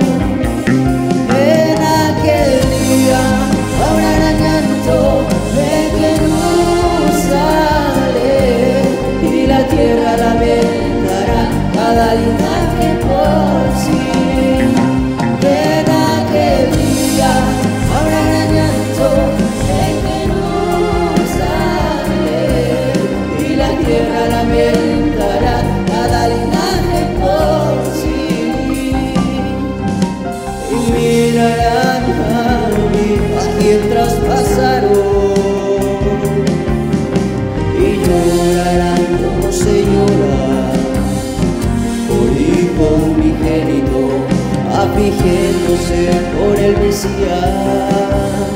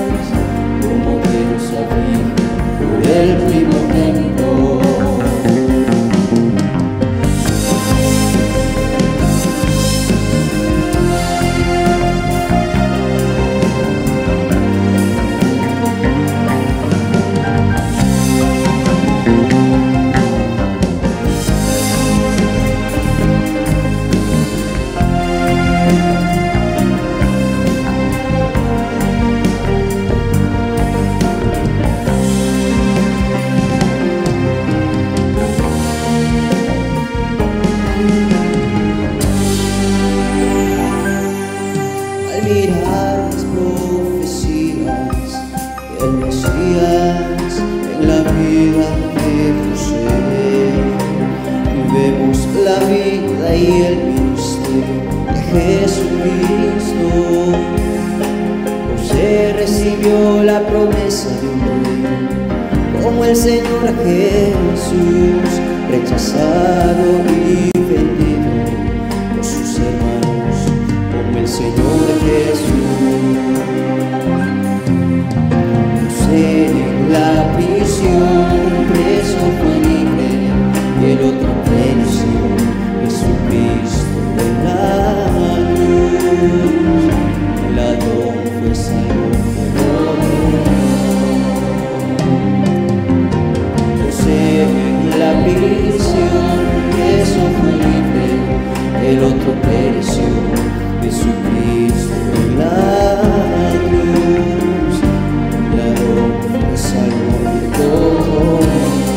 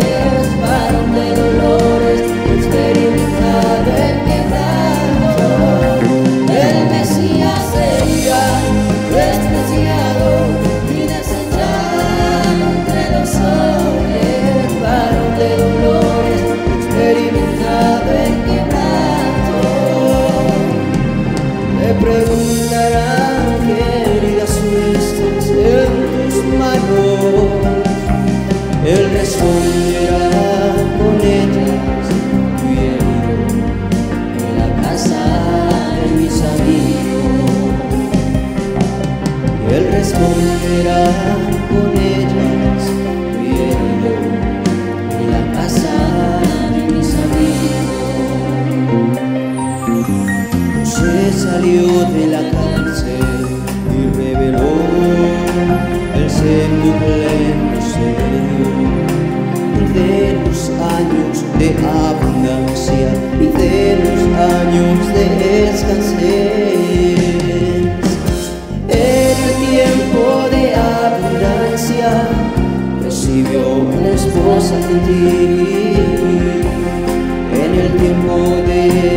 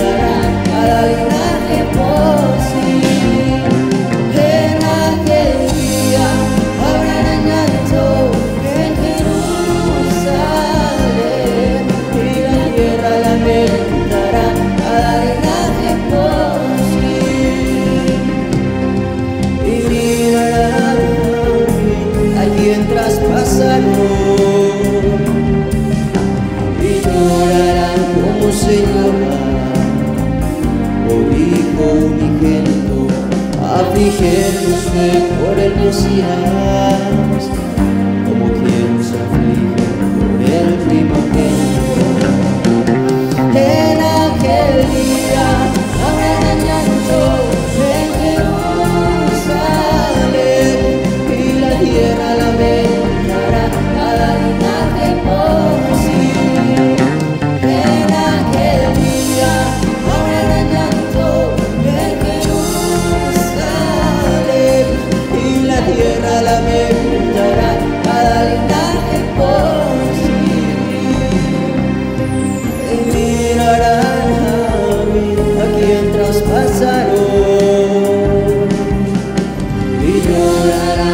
Señor más.